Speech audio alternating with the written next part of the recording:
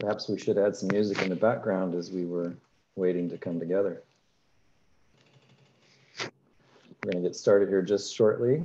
Uh, we're going to start right at nine o'clock out of respect for your time and in recognition that we're tight on time.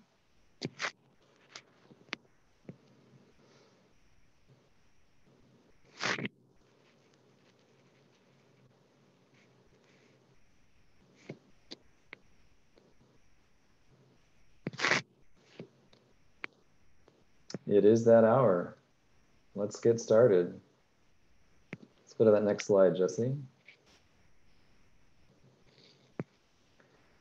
So good morning, everyone. I'm so happy to have you with us this morning uh, as we begin our first ever Equity Summit here at the College of Marin, featuring all of our equity programs.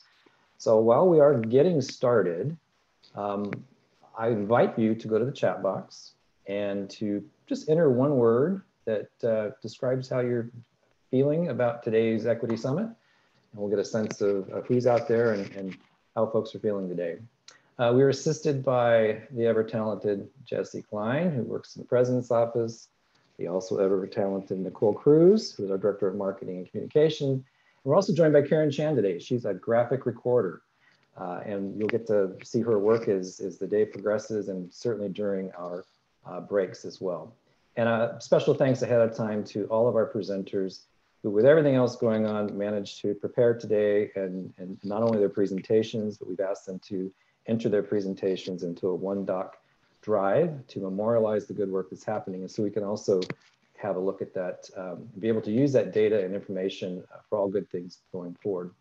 Uh, please be advised that the event is being recorded and captioning is provided by ICS, Internet Captioning Service. For captioning, please click on the ICS link in the chat box.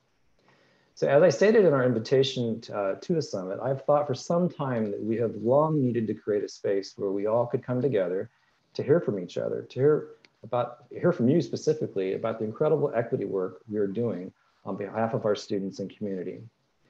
To better understand how this important work connects to our mission and our educational master plan, to identify opportunities for further collaboration, to see where we might be able to better leverage resources, to gain a better understanding of how we create and communicate a message that best describes the reach and impact of this work.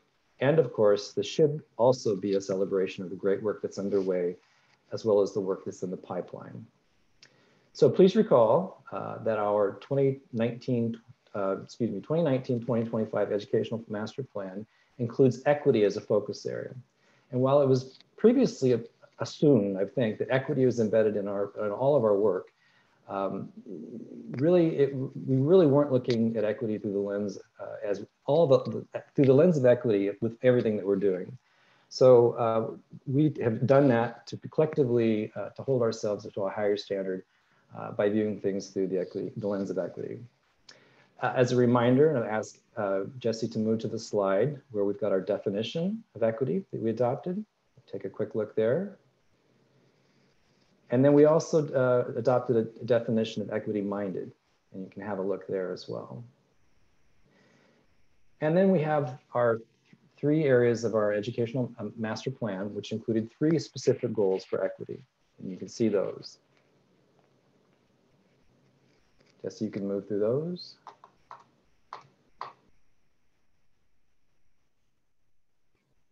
Okay. So let's get at this. Uh, many of you have seen the variations of our presentation schedule. And, and as I mentioned, we have 13 presentations today. Some presentations will focus on just one program or initiative, while others will cover various initiatives. There were 10 prompts provided to the presenters, and I imagine some folks will stick to the prompts while others may uh, expand beyond. Each presentation has up to 15 minutes.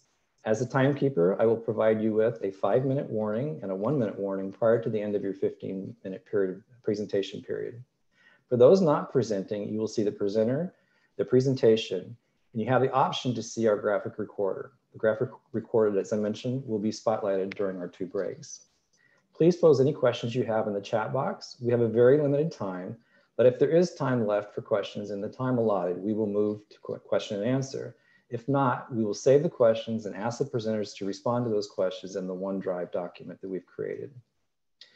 So with that, with the instructions, I will only be introducing the lead presenter, if you will, for lack, of a better word, and then ask them to make the, uh, the introductions of their other panelists. So with that, if we are ready to get started, first up is school and community partnerships. Thank you so much, Dr. Coon. And as Juan is helping to load our slides, Thank you, Juan. Good morning. On behalf of the School and Community Partnerships team, we're honored to participate in this important convening. Putting this presentation together afforded us the time to reflect on how our mission has grown when outreach and school relations was reframed as school and community partnerships and how equity officially became the context for our work. We've chosen a Venn diagram to illustrate the range and more importantly, the intersectionality of our work with local schools and community partners.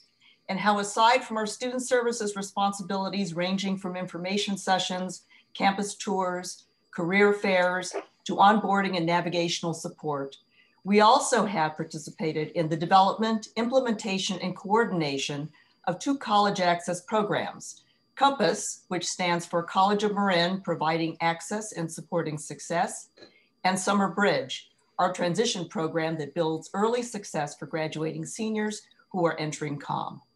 The genesis for both of these programs grew from the recognition of our responsibility to help close the opportunity gaps that have existed for students who are largely the first in their families to attend college and who are underrepresented and under-resourced. The equity, strategic, and educational master plans all act as our Northern Stars, ensuring that equity is at the center of everything we do, and our partnerships hold us accountable for our common mission and shared fate. Our team consists of eight student ambassadors who act as super peers, providing their authentic voices and experiences on and off campus, as well as a team of four full-time program coordinators who lead our Summer Bridge and Compass programs. It's now my pleasure to introduce our three Compass coordinators, Liliana Barajas, Juan Mercado, and Nigel Hakens Apia who will share their work at the high schools. Hello, everyone. My name is Nigel. Um, we're happy to be here to show an overview of the program and how it fits within the larger College of Marin uh, equity effort. So Compass started in 2016 in response to troubling uh, education trends within the county.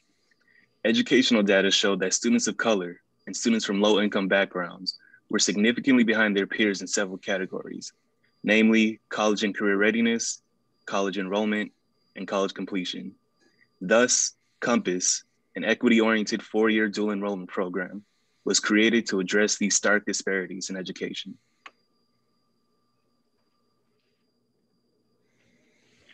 As for the process, we meet our students in the eighth grade for recruitment. We have developed relationships with our feeder middle schools who help us identify eligible students who are first generation, low income, and underrepresented backgrounds. However, we start working with our students in a high touch level beginning in the ninth grade and follow them through their years in high school.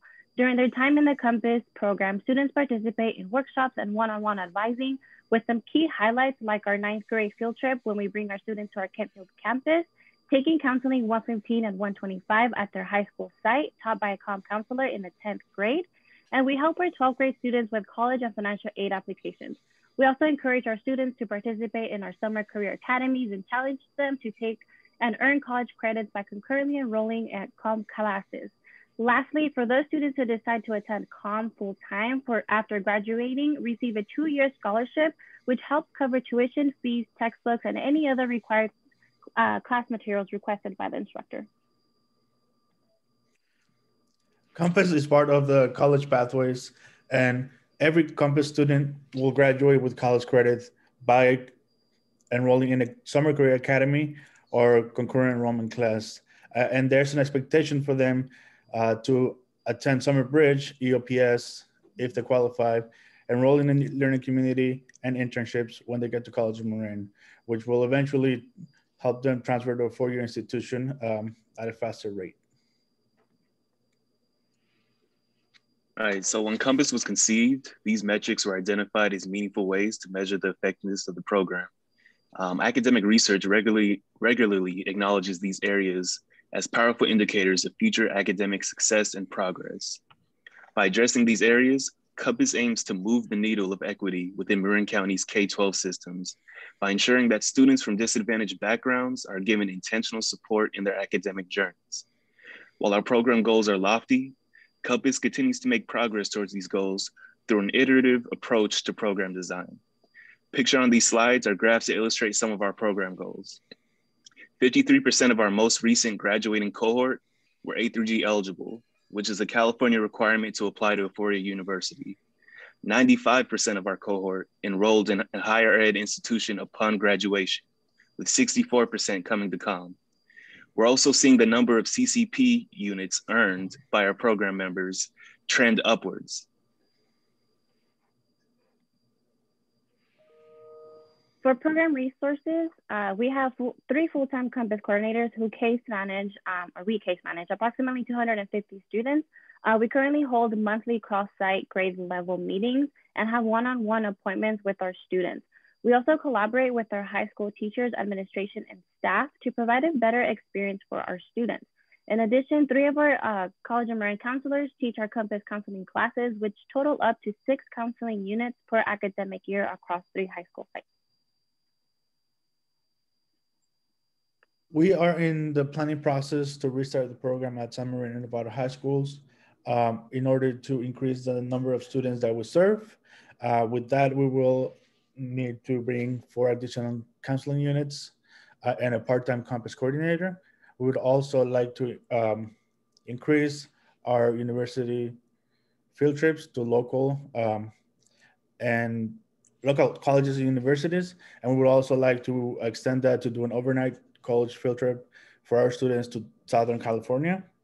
Um, and we would also like to implement the one week summer transitional program for middle school students coming into the COMPASS program, where we can involve the parents and help them explore math and science concepts with hands-on activities in order to increase uh, knowledge retention over the summer.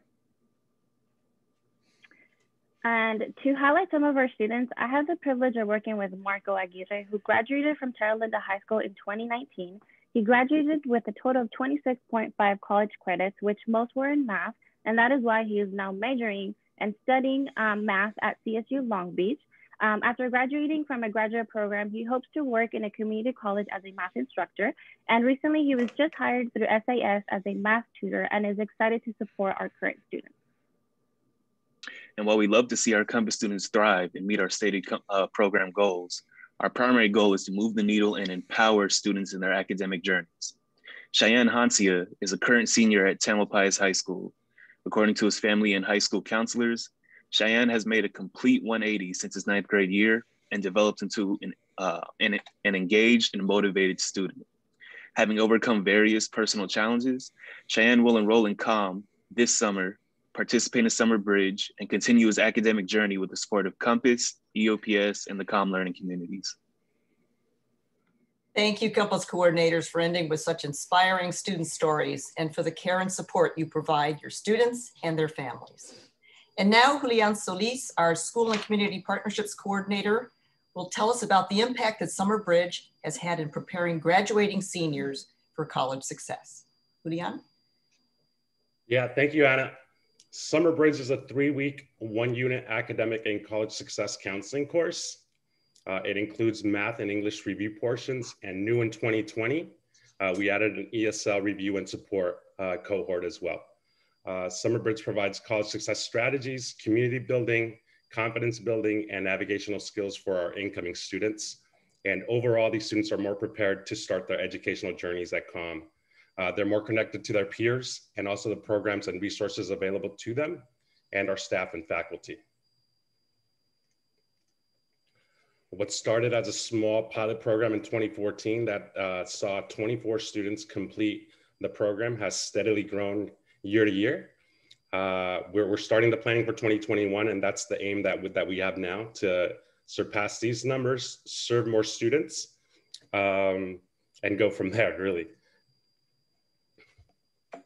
In the case of our Latinx students, uh, one of the target populations is Summer Bridge and just our, our, equity efforts as a whole. Summer Bridge students are persisting into their second semester at a higher rate.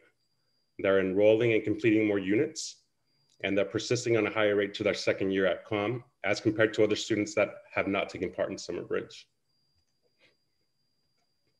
Some of the highlights in, of our 2020 program. So we transitioned to a full online delivery. I mentioned the launch of our ESL pilot program, and I'll talk about that shortly. We saw 141 students complete the program, and all these students were provided the choice of a laptop or a book grant to use at the Com bookstore, and also an additional $300 scholarship. Uh, at the start of the fall 2020 semester, 135 of these students were enrolled in some capacity at COM. And the vast majority of these students are coming from Marin, uh, the feeder high schools in the area. Five minutes. The, ESL program was launched uh, after uh, working with and listening to our high school partners, where uh, we were hearing that they had more and more students that were graduating or aging out of the high schools, uh, needing additional English support. So this ESL portion allows students to continue their English language acquisition uh, building and throughout the summer, and especially those students that are non-residents uh, have this time count towards their in-state tuition time requirements. And Summer Bridge really is a program of collaboration because uh, it, it doesn't happen because of our office or myself. It happens because of all of us on and off campus as well, our partners on and off campus. 10,000 Degrees instrumental in being able to help us deliver the program every summer. Uh, Marin Promise has been, has been great in their support uh, as well. And different offices like enrollment services, student services, counseling, EOPS, uh, the different learning communities, Umoja, MAPS, Puente, SAS, uh, Athletics, ESL, uh, they all have opportunities to get in front of these students, meet them, connect with them, and, and let them know about the different resources available to them on campus as far as like the allocated resources now, uh, quite a bit of my time is spent in, in, in not just planning and helping with the planning, but also being there for the delivery of the program. Uh, traditionally, we've offered lunch to all these students every single year outside of, of, of 2020.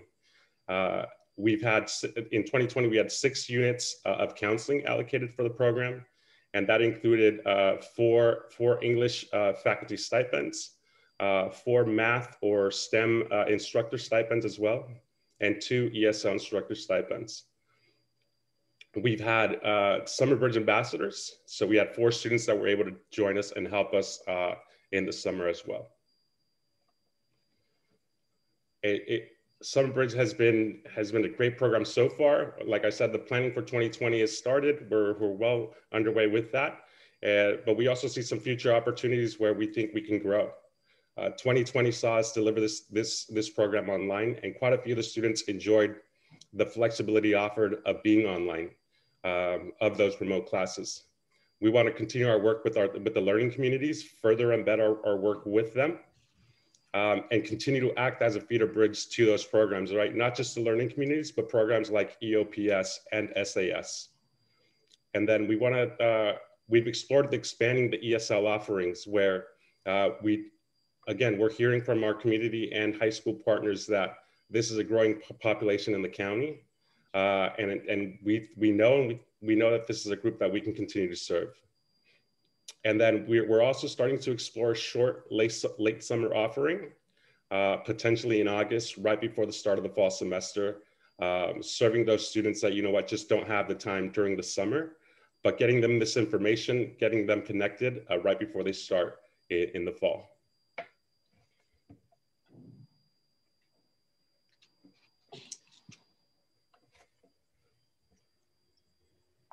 Thank you to Julian for being a guiding force for Summer Bridge, in addition to his work as the School and Community Partnerships Coordinator.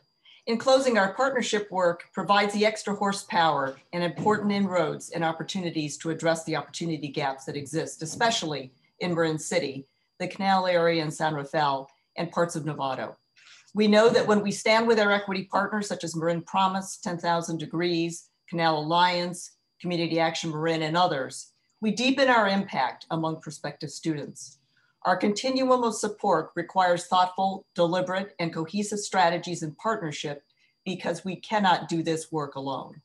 And it allows us to sustain our support for students along their academic careers so that they are able to benefit fully from the community college value proposition and achieve their educational goals. Thank you all for this opportunity to share our work. Terrific, thank you. I hear thunderous applause out there. Uh, in, in, lieu, perhaps, of, of, thunderous applause, if there's any, uh, just great commentary in the chat, very affirming uh, messages. Uh, I encourage folks to use the chat as, as a way of giving feedback as well. Um, I originally thought that I was only going to give limited feedback like thank you, because sometimes if I'm less effusive with other groups, people read too much into it. But I can't help but being, you know, enthused and happy about what I just heard. So great work. Thank you all very much. And great, thanks for being the perfect starting example for keeping on time and keeping it moving along. So, and responding to all of the prompts, that was great. So again, big round of applause to our first presenters. So with that, we're gonna transition and have our next group. I, I should have said, I, Anna and team, Anna Pilloton and team, I indicated as I was going to uh, introduce the lead presenter and I failed to do that, but Anna and team, thank you very much. So next up we have, uh, I believe actually the lead on this was Paul Daubenmeier with the STEM Learning Community, or perhaps it's Carol Hernandez. Let's start with Carol and then we'll, we'll go to Paul. Thank you, Dr. Coon. Um, first, I just want to say thank you for holding this summit. Um, I'm proud to work at an institution where equity is uh, a priority. Um, today, um, I have the pleasure of introducing Dr. Daubenmeier, our STEM Learning Community Coordinator. Um, as most of you know, we started a STEM learning community um, fall of 2019, just before COVID. Uh, we started the learning community because we wanted to diversify our STEM pipeline so that all of our students have the opportunity to enter the workforce. Uh, we didn't want to do this to check some box. Um, this initiative, this program is important because a diverse work STEM workforce is a stronger workforce. Um, today, uh, Paul's gonna share some of our successes, uh, where we are today, and our plans for the future. So please join me in welcoming one of the most thoughtful people that I know, Dr. Paul Daubenmeier. Thank you, Carol, for that introduction. I really appreciate the opportunity to be with you all today. Um, I'm about to uh, share a little video that one of our students made. I, I think it will be quite um, touching to see her experience um, as uh, a, a member of our learning community. I'll start sharing that one more time. Um, apologies. Okay. And here we go.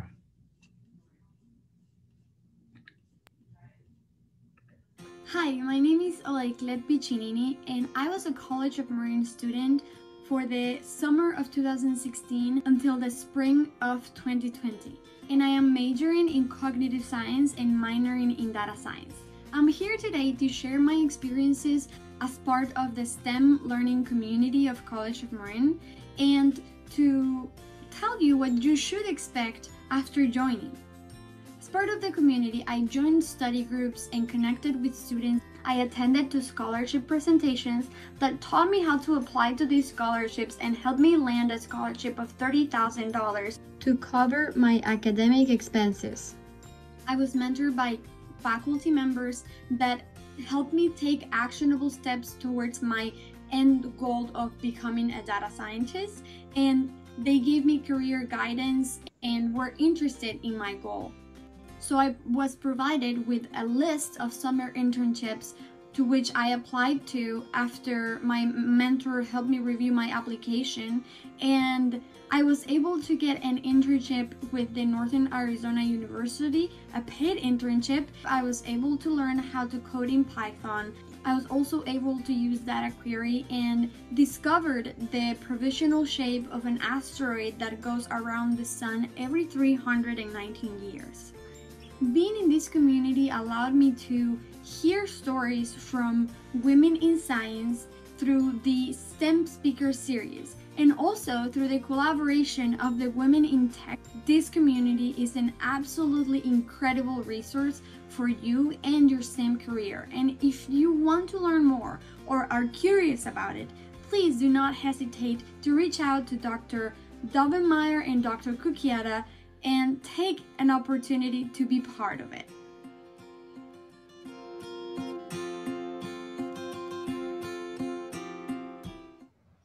So that video produced by one of our students um, obviously is targeting um, her fellow students, but surely gives a good insight into the type of experience she had as a member of the STEM learning community. I'm um, I'm particularly encouraged by the joy she had in her face when she talks about the asteroid that she studied. You can see that really ignited her, and um, so I'd like to just uh, share a couple slides here and talk through some of the um, work we've done with our STEM learning community. As uh, Carol mentioned, we are one of the younger or newer um, equity-minded resources on campus but um, that doesn't mean we haven't been very active. And to that, I really thank the um, administration and, and, Carol's work as, as well as um, uh, all the allocation. This little picture up in the upper middle is actually the picture of our STEM learning community space uh, the day of fall 2019 semester opened. You can see it's, it's bare, but my slogan was, if you build it, they will come. And sure enough, um, there's just some pictures going around of in the upper right, uh, packing it out for internship presentations. And on the far left, we had the Women in Tech Ask Me Anything chat with Maria Colson um, event. Um, lower left, we decided when the, we discovered when the weather gets good, we can actually spill out into that very nice um, little outdoor courtyard. And we set up um, some pizza for one of our speaker series and accommodated about 70 people that night. Coincidentally, that was the, I believe, the last big event on our campus, March 9th, 2020, before we kind of uh, shut down and went to distance learning mode. So there on the lower right, you can see Marjorie Chan. We'll talk about her in just a second, um, giving a presentation there in that space. And down in the middle, just wanted to point out how important whiteboards are uh, for common creation of information. That's one thing we're losing in the Zoom age sometimes. And there's the output of one of our faculty brown bag lunches where we came together during the COM hour, that community hour that had just been launched that fall.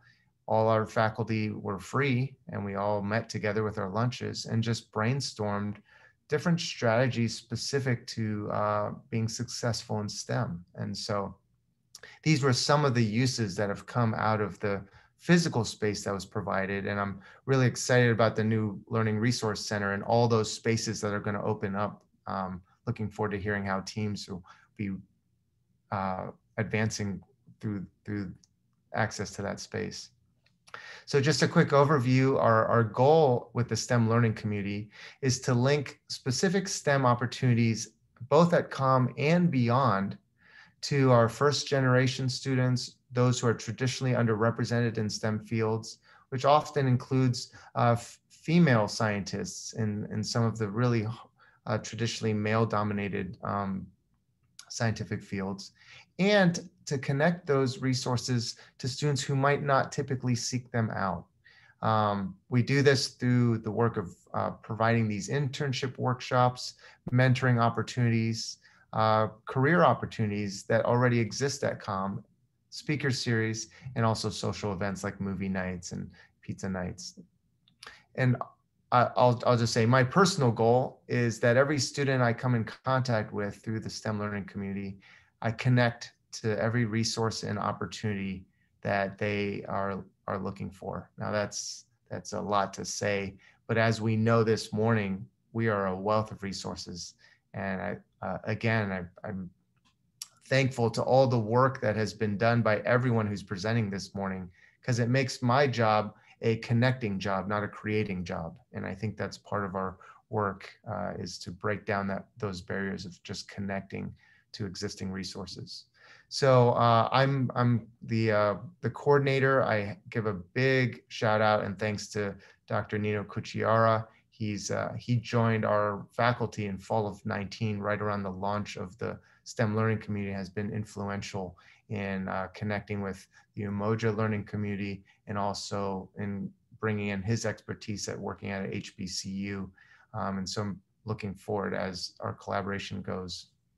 um, to the strengths he brings. We also have Dorian Carlisle, who's been invaluable on staff um, to help support many of the logistic events. And then I, will mention a little bit more just about all those the math and science and STEM faculty who've given themselves to some of our efforts. So just a little demographic info. When we first launched until March 9th, 2020, we had uh, 52 students fill out our demographic survey, which was pretty much our enrollment participation into the community. I'll, point out statistically, we have 41% of those are first generation uh, college students. There's other some demographic data that we haven't fully parsed yet. But my goal was to meet face to face with each one of those students. And so during that about eight month period, um, I reached about 80% of them to talk about their trajectory as STEM majors, some in the very early stages of being STEM curious, some in their third year about to transfer um, to a, a, UC or a CSU, and tried to understand what are the, some of the factors or pressures affecting um, students, just like the groundwork you all have done um, from before. And what I re realized, and I didn't put this stat up, was the incredible number of students who joined who were already being supported by an existing learning community. And that showed the strength that we have on our campus, um, that we have this overlap and we're reaching students from many different angles.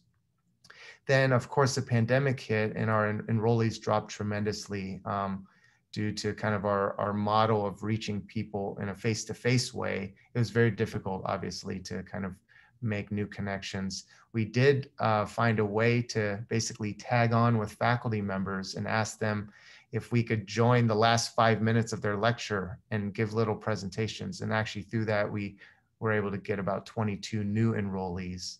And then we've pivoted and we've gone full bore with that model now um, reaching classes where we'll give three, again, three to 10 minute presentations just at the end of a lecture. And out of that, we now have 153 cumulative Canvas enrollees.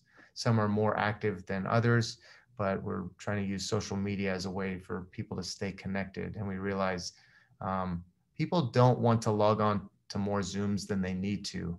Um, and sometimes the spaces we create are digital. And so we're trying to vary those in a way that keeps students engaged.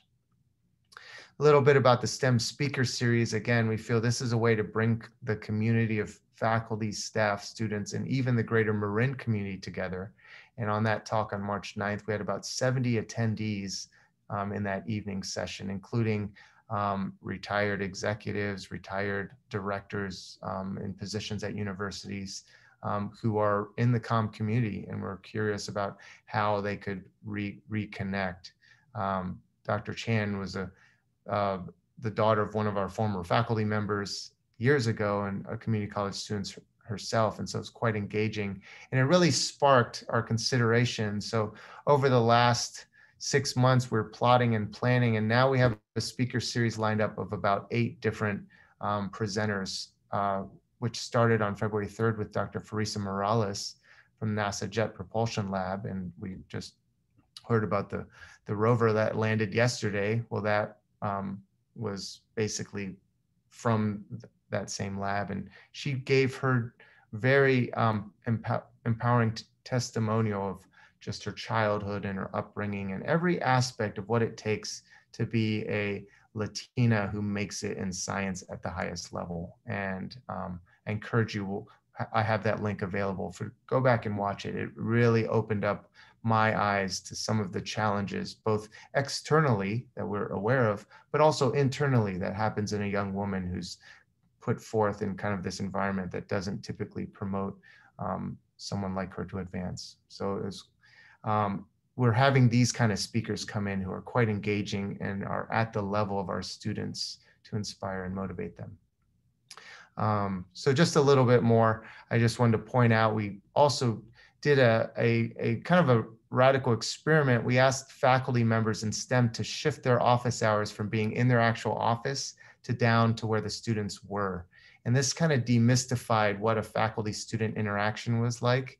This allowed people to talk about what they're having for lunch, what they were doing or did last weekend.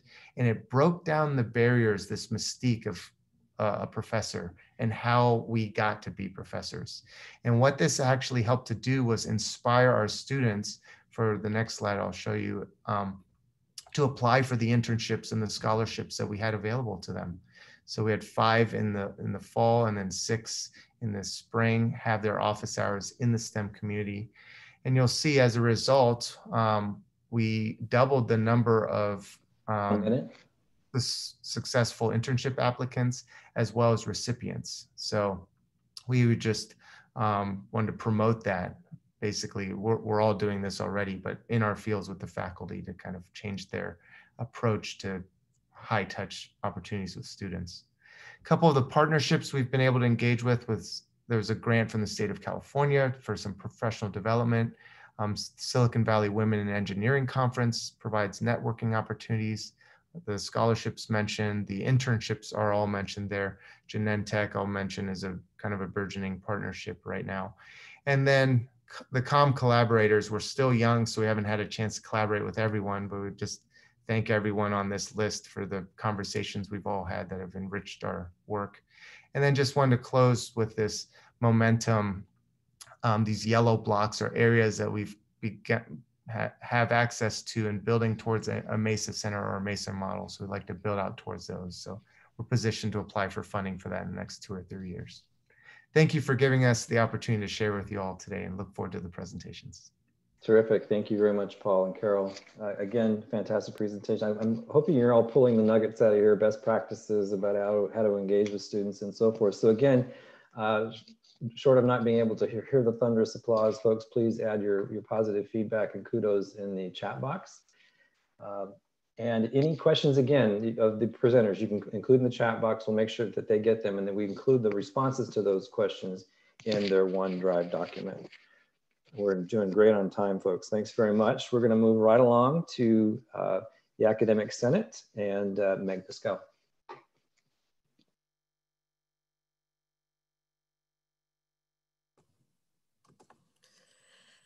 So, hi everybody.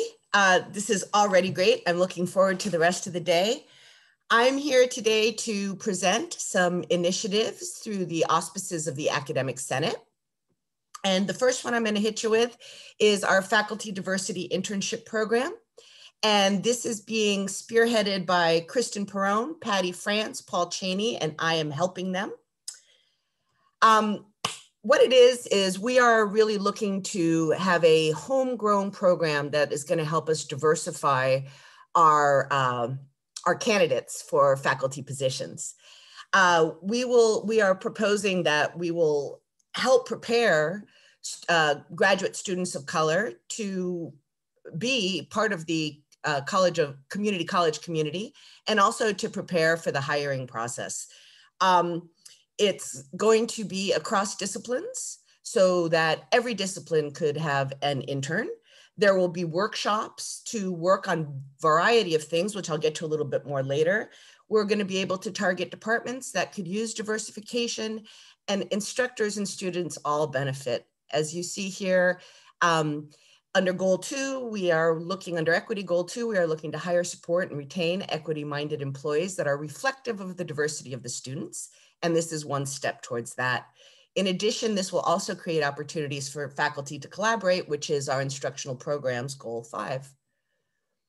Um, we do have some existing resources for this. We wrote an IR&D and this has provided us with the means to do the planning, uh, create marketing contact, to develop the workshops, to execute through this and through some of the recruitment.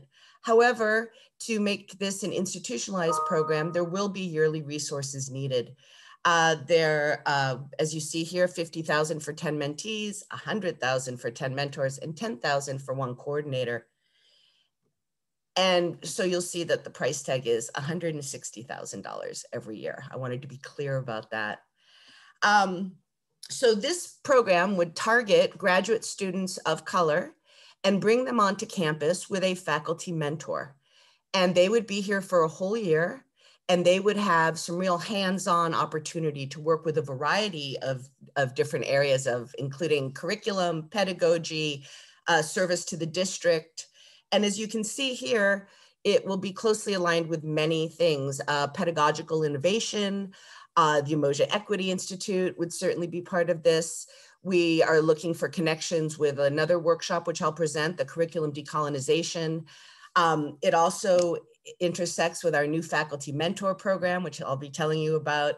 Program review is affected by this and our professional learning. Um, we do have uh, some needs.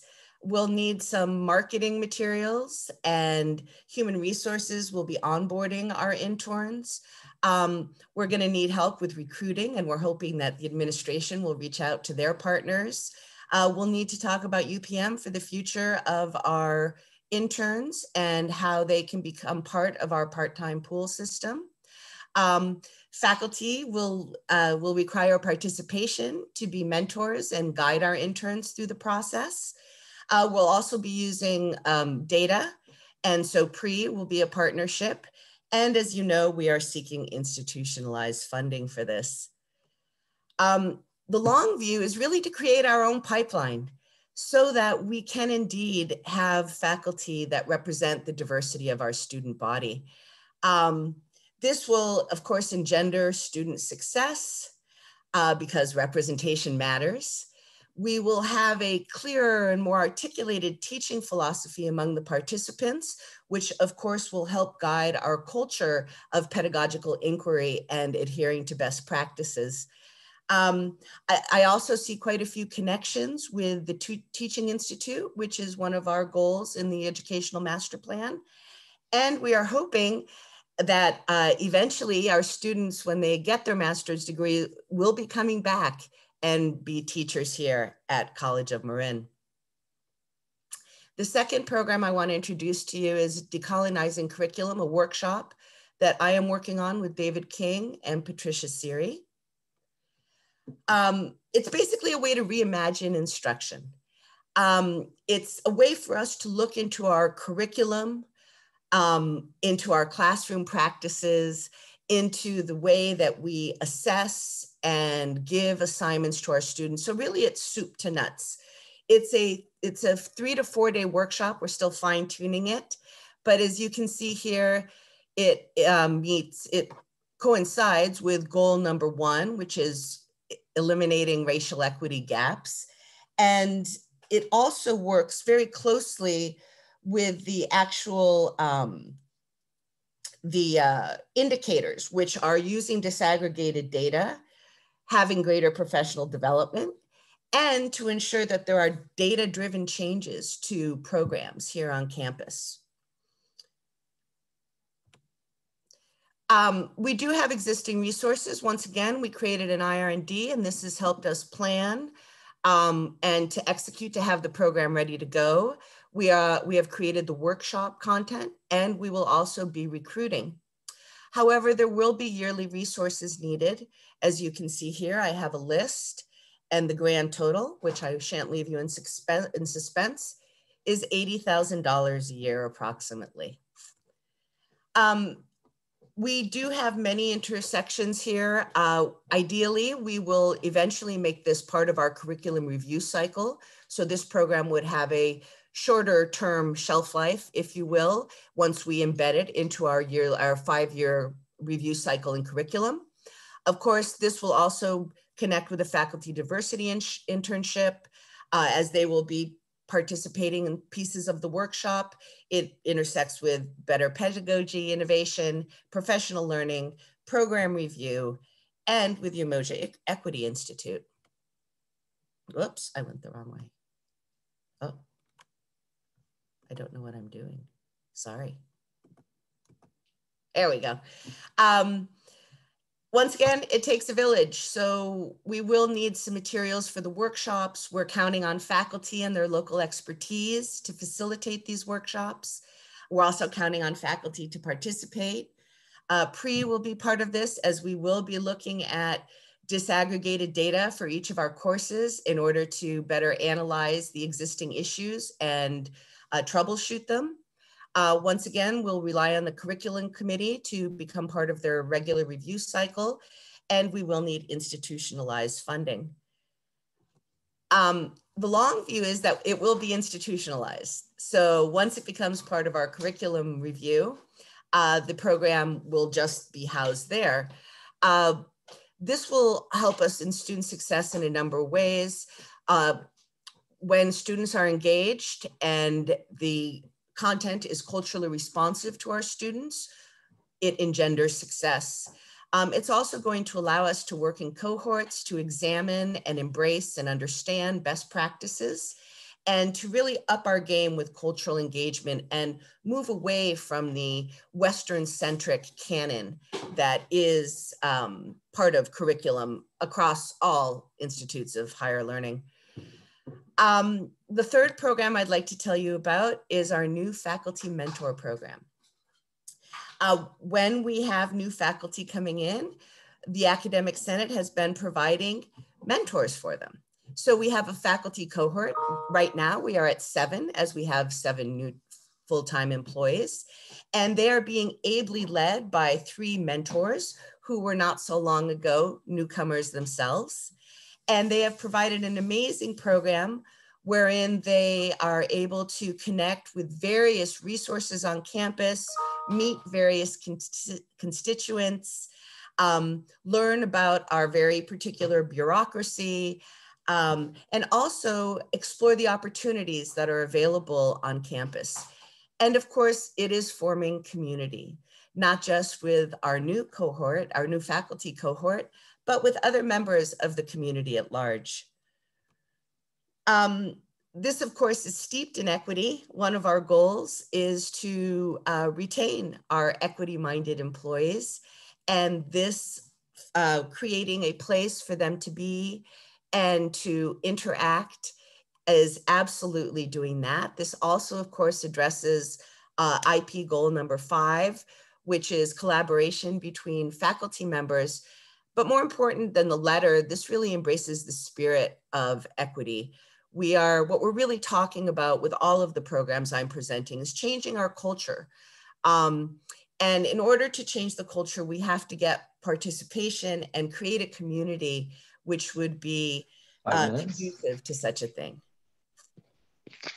Um, there are, as always, there are challenges. Um, scheduling can be difficult with everybody's disparate uh, obligations. And of course, we have the support from our constituents have been showing up to Zoom meetings with them. This allows the, the newcomers to understand options at the college and the dedication of our, um, of our mentors has really been exemplary. Um, right now, these are being uh, written with uh, uh, IR&D calls through UDWC, uh, but we would like to find permanent resources for this program. The last one I'm going to tell you about is our program review equity facilitators. As you know, we changed our program review to make it more thoughtful and to make it more conducive to the changes we want to see happen across, across our um, our uh, offerings and curriculum. And so with a new method, we decided that some facilitation and guidance is always a good idea.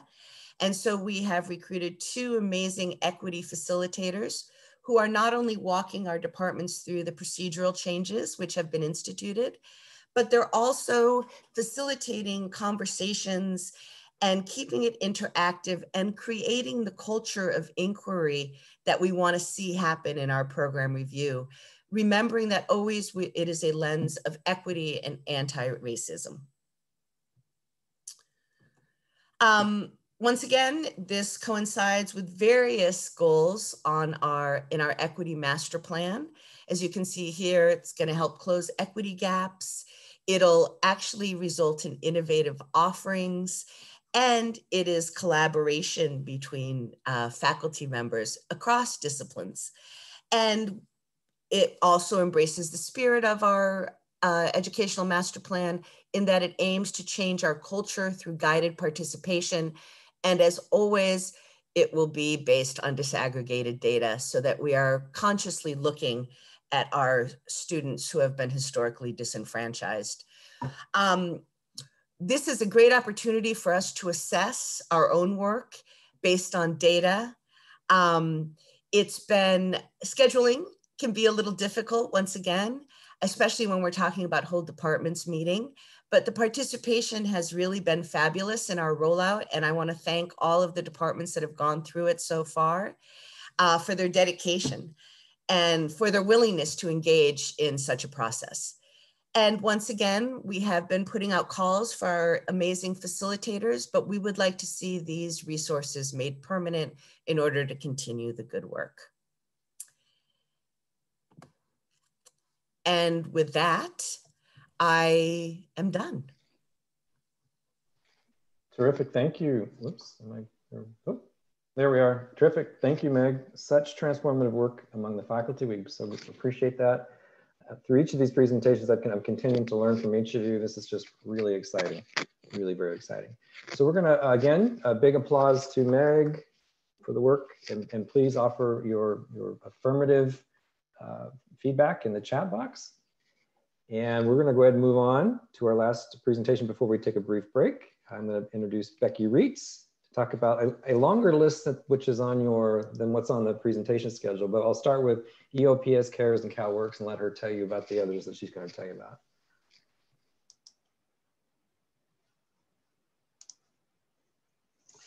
Good morning, everybody. Um, thank you, Dr. Coon. Um, this is really exciting, and I'm really excited to hear about what everyone's had to say so far. This is a really unique thing that we're doing here, and I think it's uh, hopefully the first of many.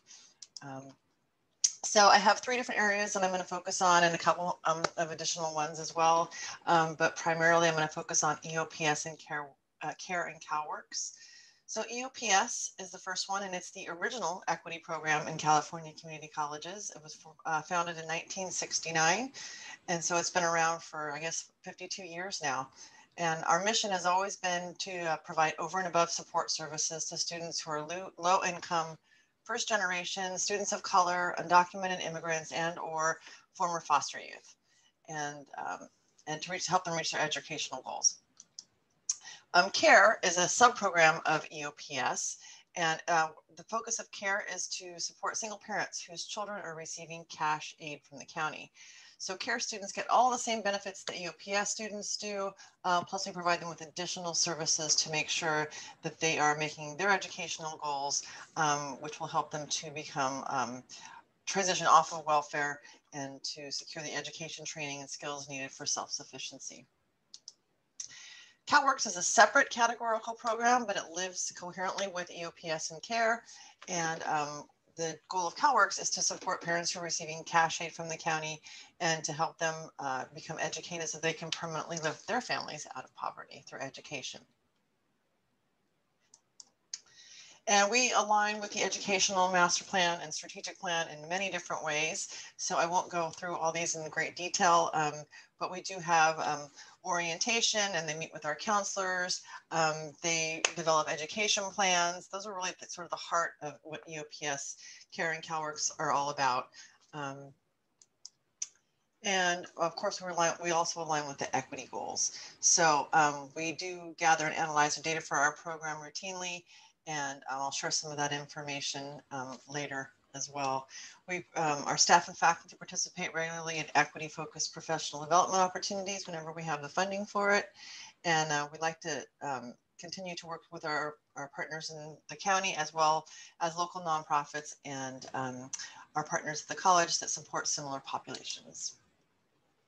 Um, this is something I wanted to share just because I'm a big part of what we're um, aligned with at the college is also what we're aligned with at the state level, the chancellor's office.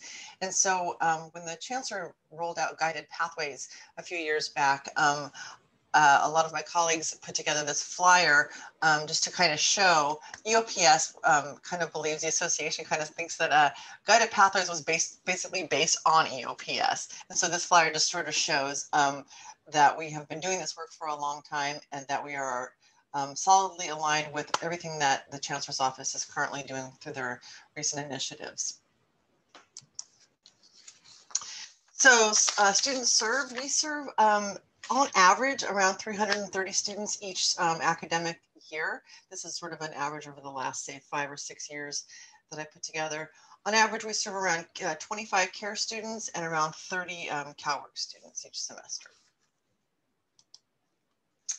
And as far as our staff, we have um, one full-time director, that's me. Uh, we have one full-time coordinator, that's Allison Martinez. A full-time specialist, that's Ugo Guillen.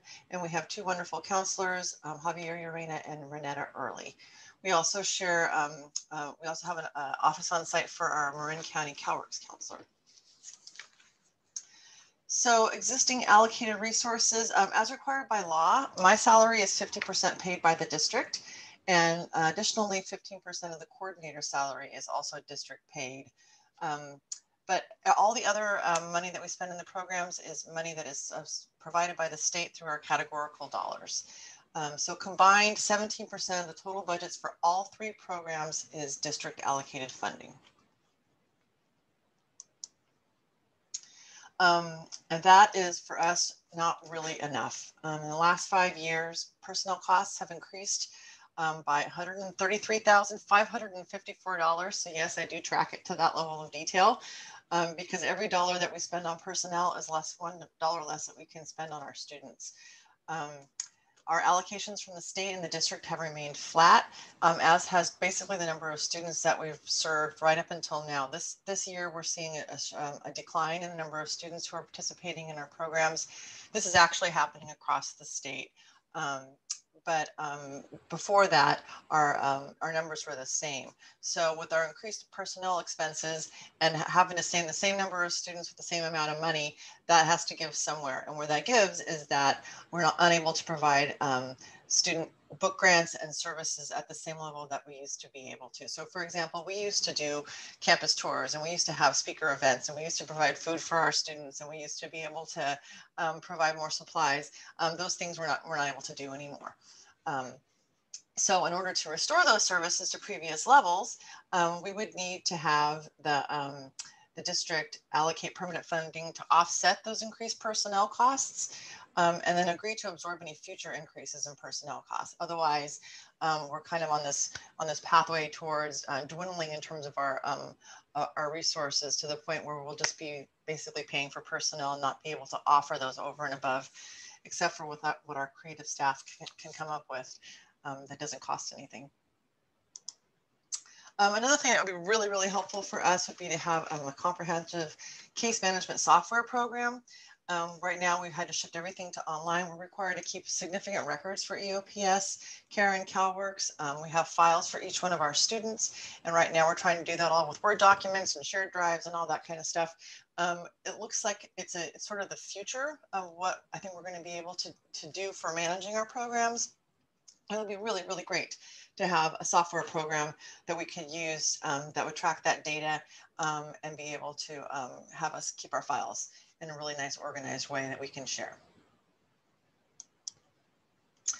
We are aligned with a lot of initiatives that you've already heard about today. Um, at College of Marin, for example, um, we used to live harmoniously with the Tutoring and Learning Center. That was really, really great for us. Our students felt like they had their very own home base on campus that had was full of other learners and had free printing and all of that. That was a, a relationship that was coupled uh, that was cultivated over probably, I would say, about 45 years in the making. Um, and then, so we're hoping in the new, new building that we'll be able to continue that relationship. And of course, we have uh, great relationships with our learning communities, um, Puente and Umoja. Um, we work very closely with Summer Bridge. In fact, we actually bring our EOPS orientation to Summer Bridge um, just to make sure we capture those students. And then, of course, our COMPASS um, cohort, which we have our first one coming on, on board this year. Um, so really excited to be working with all those folks on campus. And we have a lot of county partners that we work with. You can see a list here of some of them. Um, we're always trying to expand this list. We love to be able to make a quick call over to Bloom and say, hey, I've got a family that really needs to have some clothing and be able to do a quick referral. And so um, all of these, all of these are sort of like those um, really essential things that we need for our students to even be able to go to school. So we work really hard to foster these relationships. And these are just some of our community partners. And then of course, we're also connected on a statewide level um, with our CalWORKS um, Association, our EOPS Association, and I also serve as the Region 3 representative to the um, California Community Chancellor's Office um, for EOPS which keeps us very connected to what's happening um, at the statewide level. So highlights and accomplishments, um, I wanted to share some data from um, a report, a pre-report that we had done in 2019. And some of our outcomes were um, really, really great. We were happy to see this. We, we kind of intuitively knew this, but it's really always good to see the data. Um, so these are some of the things that our EOPS students did compared to a similar group. When we compared them, they carried a higher average term unit load. They earned more units on average. They have um, higher course retention rates, higher average success rates, higher average GPA. They achieved transfer prepared status at higher rates and were more likely to earn an AAAS or certificate. This is also very similar to what we see when we do um, statewide um, research projects with the RP group. A few years ago, we did one and um, very similar outcomes on a statewide level as well. So we know that EOPS is particularly effective for getting students to their goals.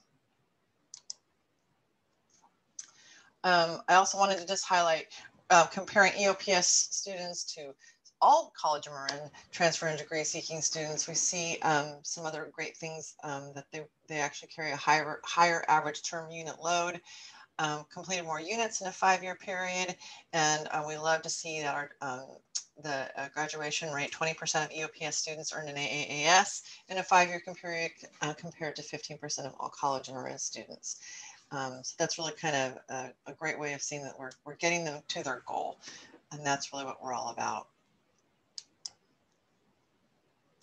Um, some other great things that we do in our program, we have a scholarship fund.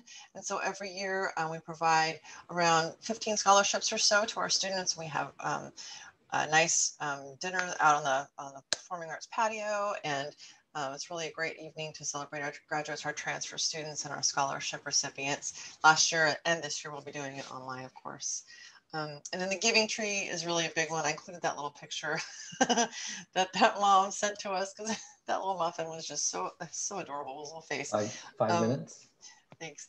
Um, you guys did such a great job. So many of you who are here today um, supporting the Giving Tree. We've literally helped hundreds of low-income children in our programs um, in the past several years, uh, including 96 that we were able to support in December last year. So the Giving Tree is something we're really proud of that we created and um, hope to continue that going into the future.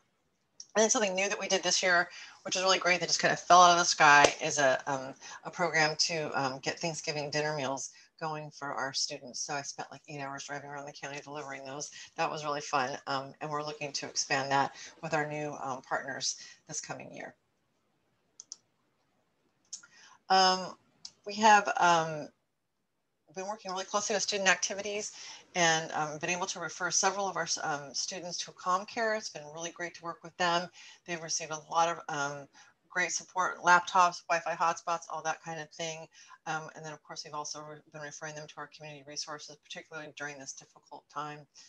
Um, and then I just also wanted to point out that a lot of our students um, in EOPS and CalWORKs have served on the ASCOM board as a student trustee, commencement speakers, and lots of other leadership roles as well.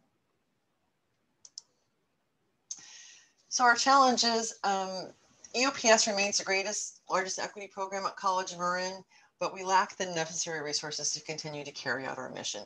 And CalWORKs is in a very similar situation. Um, it really, the thing about EOPS in particular is that how we attract our students is with our book grants. We say, hey, we're going to give you some money for your books, and that's what gets them in the door. And when they meet our counselors they, and they learn about the rest of the program, that's how we keep them. And right now, without a, a rigorous book grant program, um, we are having a hard time attracting new students. Um, and without being able to provide things that some of the other groups are providing, like campus tours and um, bringing on special events and providing food and all those kinds of things, um, we are unable to really provide this kind of level of over and above services that we have been in the past. Um, so I, I think that um, at a lot of colleges, including our college, um, there's a need to ins ensure that we are all working synergistically to support our shared student population.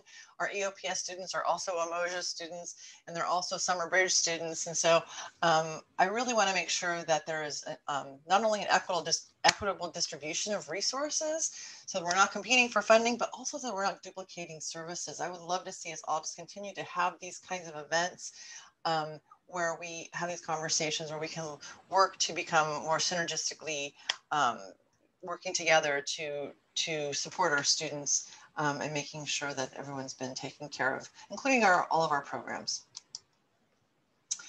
Um, so our future directions, we're looking to continue to maintain and develop strong partnerships with our campus colleagues, learning communities, and other equity focused programs, um, including that are also our community partners. And um, we, we're really excited to be working with COMPASS to strengthen, strengthen, strengthen the pipeline of EOPS eligible students from the local high schools. We're going to be going in to meet some of our high school seniors who are going to be coming our way. So we're excited about that.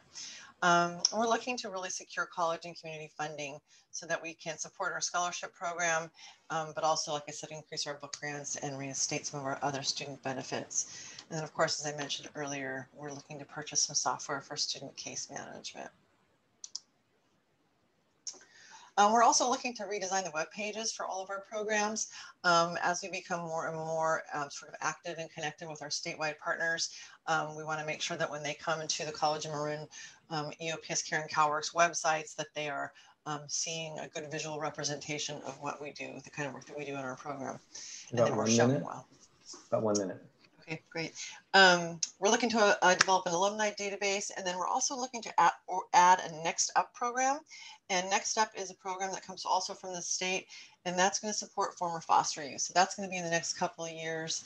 And then next month, actually, we're going to be um, piloting a program called Fresh Success, and that uh, supports CalFresh recipients with all kinds of additional services um, if they're taking CTE programs. So uh, again, lots of exciting things um, happening. And then of course, we're looking always to expand our support um, for our undocumented students. We're working actively on that right now. So again, there's lots of opportunity for collaboration. We want to make sure that we reestablish some of our relationships with Canal Alliance and other organizations that support undocumented students. Um, we're looking to create some new county partnerships and uh, maintain and collaborate with our um, EOPS and CalWORKs folks in Region 3.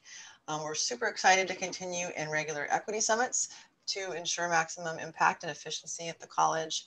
And of course, um, we're looking to strengthen our co collaboration with our learning communities and other groups so that we're working synergistically to support our shared student populations. So thanks, folks. Appreciate your time today. Thanks so much, Becky. And, and we know there were some areas you didn't get to cover. And when we do this going forward, we may have additional presentations based on breaking out some of the programs. But uh, great work to you and your team. Clearly, EOPS is a special place in many of our hearts. Uh, 50 plus years. is California's longest uh, running equity program. Has done just, just served millions of students. I may be exaggerating, but hundreds of thousands of students over the years. Um, so that brings us to our please applause for Becky and team. Uh, and I encourage you again to include your feedback in the, which you are, I see in the chat box. And this brings us to our first break and we're gonna take a 10 minute break and uh, then come back. I encourage you to go get some coffee, little snacks. Uh, we're also gonna be spotlighting our uh, graphic uh, recorder so you can see some of the, the great work that she's been uh, catching based on all of the great work that you're doing. So with that, I'm gonna call it, we're gonna come back at um, 1018. See you then.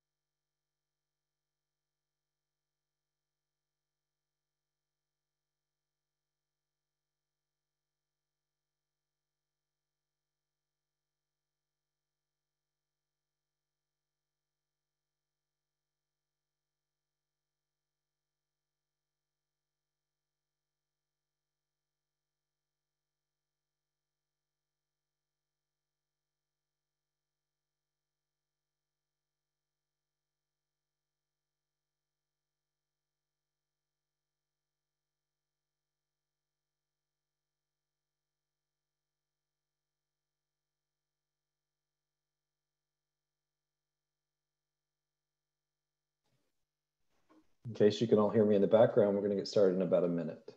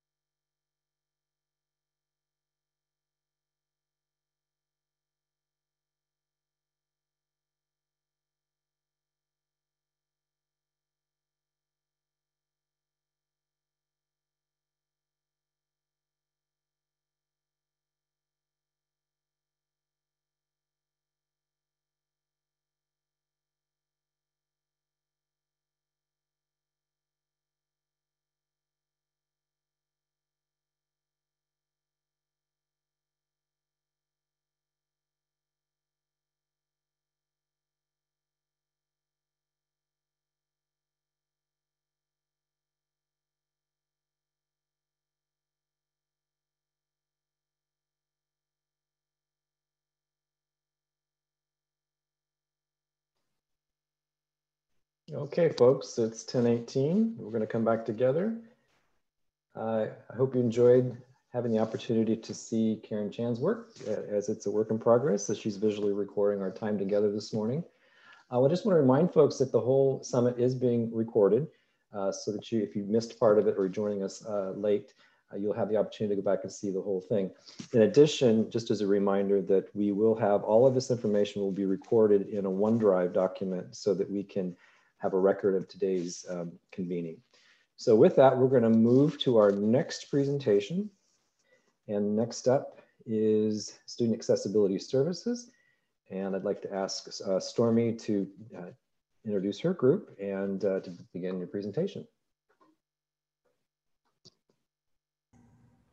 Okay, good morning. It's good to be here with you all. Um, I am joined by Juliet Blank, uh, one of our counselors in Student Accessibility Services, and also El Demopoulos, our AT and Alt Media Specialist in Student Accessibility Services.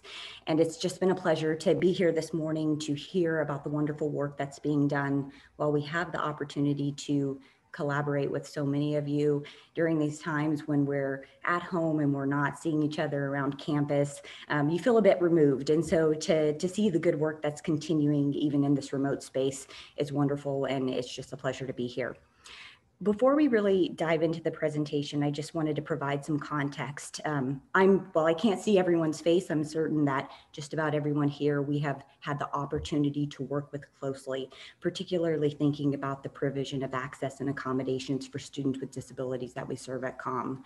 Um, but what I, I, think oftentimes doesn't get seen, and if you've attended some of our more, more recent Flex presentations, you've heard about the internal shift that Student Accessibility Services is having in terms of the way that we look at access and we think about that and re-envision our work. And moving from this model of uh, compliance and um, the legal components and rights to really looking at access and you'll see this image here of access being love. It being uh, centered in our work from us taking an approach to disability justice, centering access, looking at it as you know a critical component into the work that we do to amplify the voices of students with disabilities, where we take a step back we don't look at ourselves as disability experts, but we let the student take the lead and we really ensure that access is being provided from their lens. And we see that being much bigger than anything that student accessibility services can do on our own. It really is an institutional responsibility to be committed to this work and embrace it in a way where it becomes foundational to everything that you do um, from the start. So I lead with that, but I'll go ahead and let uh, move into the next slide and let uh, take the lead. Okay, well, here is a great description, working description on disability justice, right? To kind of signal, amplify what Stormy has been saying about our internal shift. This is really a framework that centers everyone's responsibility for looking at disability in a justice minded framework. Next slide.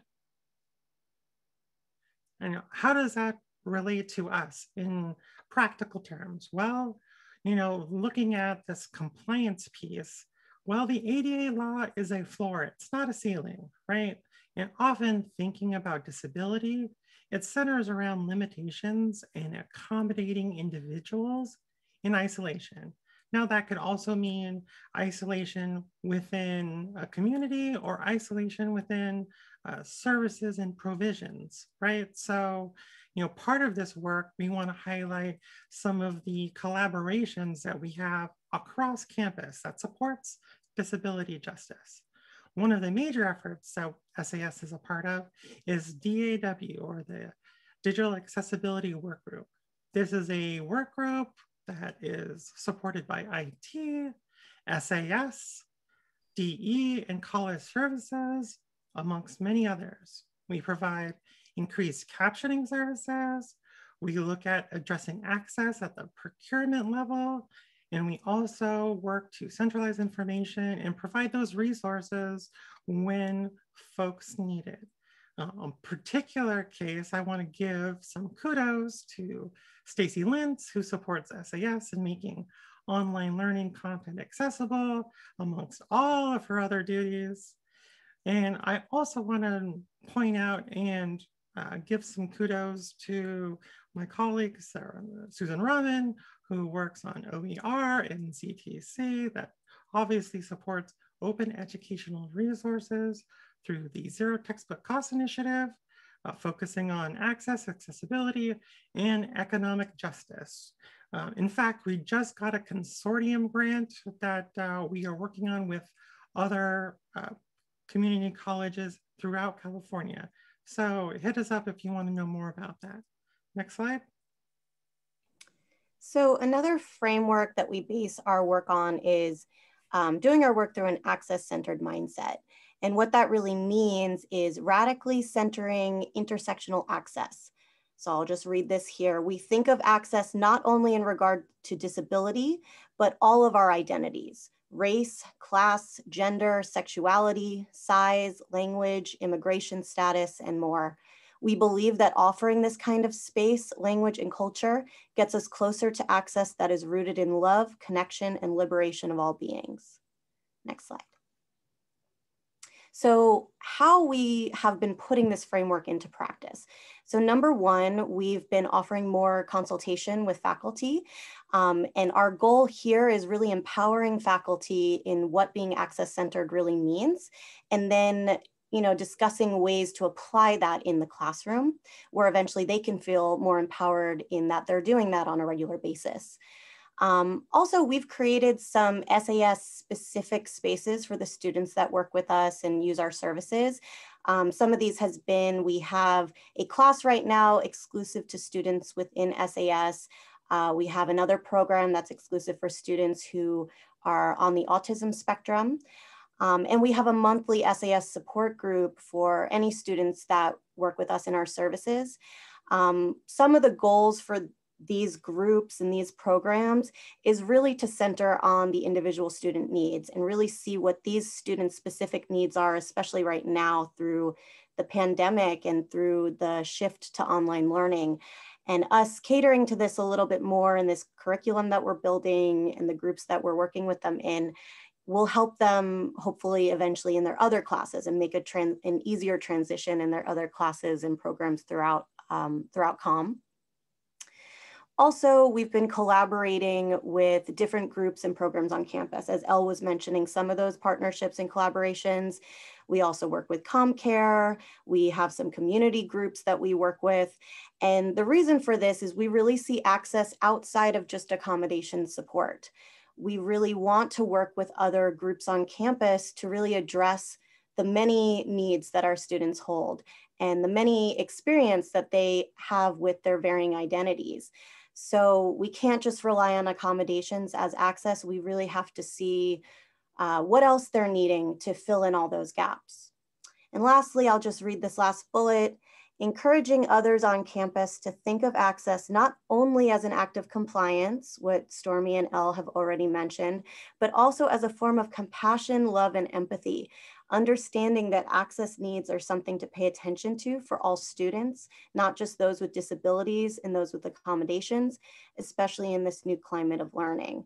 So I'll just say with that, that with this pandemic and with the shift to online learning, a lot more access needs have come up and it's not just been for the students with disabilities, it's been overall with the whole student body where we have to be aware of that, that there's been uh, more access needs overall and new access needs that we've had to put our minds around and come up with some solutions.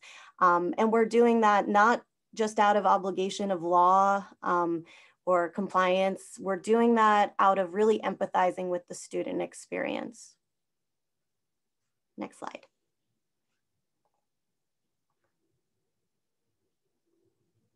Speaking of intersectionality, I think this really ties into our work for access and disability justice by looking at all of the ways our identities and those identities have social barriers, you know, how they impact our student population, as well as the entire campus community.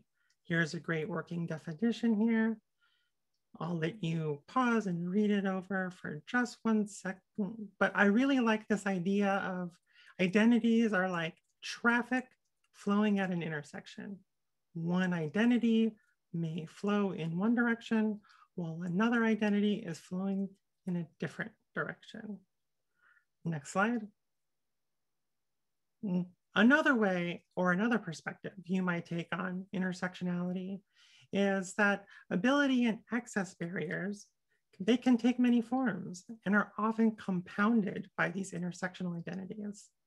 This can impact any member of our college community, right? So we're thinking about not just having incidental or environmental barriers like, you know, a broken arm or lack of sleep or stay at home orders or power outages. But there's also that social and systemic, right? So thinking about oppression or bias by institutional systems, uh, language, culture, and communication differences, or just time and resources. You know, we are impacted and we have limited access and, and have barriers to accessing computers or Wi-Fi hotspots, or we have food and housing insecurity, or we have conflicting work, family, and or childcare schedules, right? So SAS in our work, we recognize these impacts and work with SAA and the larger campus community to address students in our community in a more holistic, access-centered way, including supporting basic needs distribution, working with our learning communities, and engaging with our community partners with outreach. In particular, um, we have a few of our partners here, MCOE, uh, Department of Rehab, Star Academy, Autistry. I know I teach a tech workshop uh, for STAR students to, to support their onboarding to the college community. And part of our needs, we hope to increase those types of supports and offer more of them in the future. And this last definition, so ableism, I think the, the best way to really explain ableism is that when there are constructs that just tell us this is the way it is and how it has to be, um, we have to look at that and see that's only one experience, that's one perspective, and does not necessarily include all experiences and needs. So, one example of this is college learning in the United States before the pandemic. There was this one dominant way of bringing this learning experience to students. You know, and then once the pandemic hit, we didn't have this ability to go back to that anymore none of us had that ability anymore where we had to shift and we had to change and there had to be creative flexibility around that. So, in thinking about that, I just hope going forward that we could keep that mindset that there isn't one way to teach, there isn't one way to learn, and there is room uh, to change the experience and be flexible around it depending on the varying experience and needs of our students.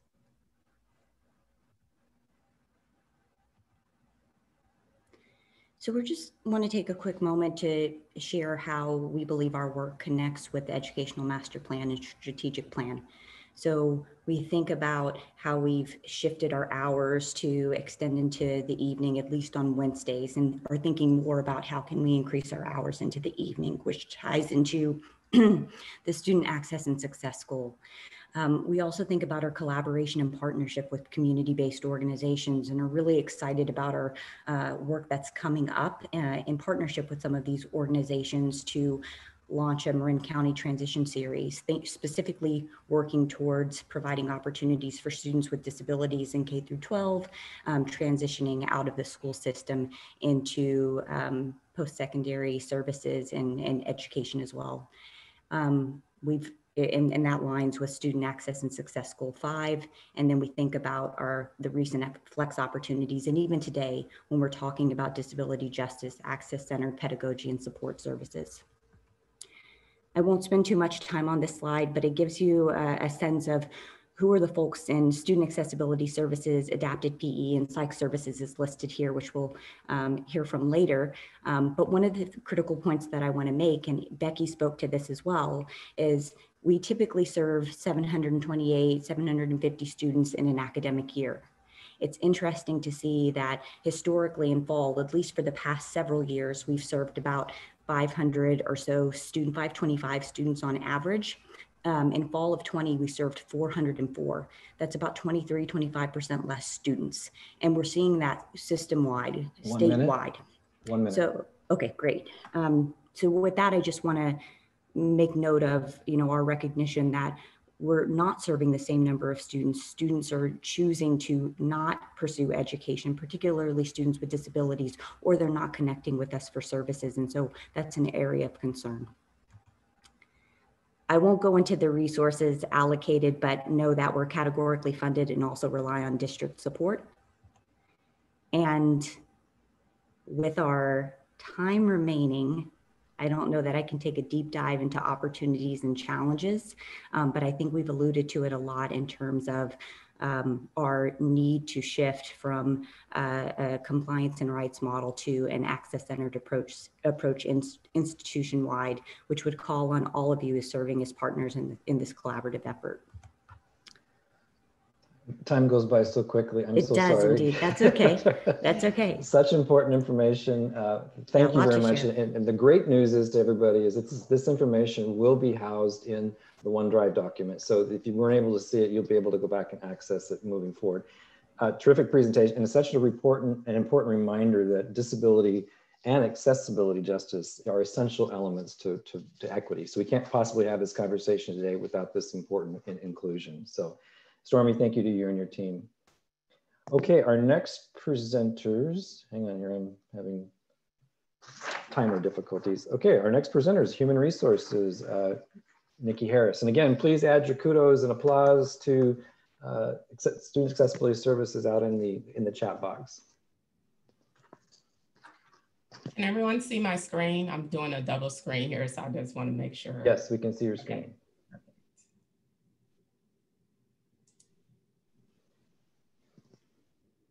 Right. Good morning, everyone. Um, I'm Nikki Harris. I'm the Director of Human Resources. Um, I'm gonna just move this here.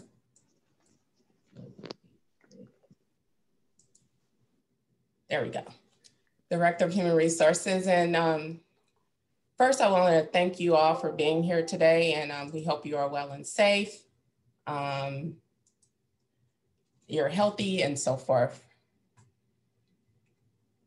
So the Human Resources um, Equity Initiative, um, we strive to consistently attract, uh, retain, train, and develop a skilled and equity-minded diverse workforce in support of the College of Marin mission.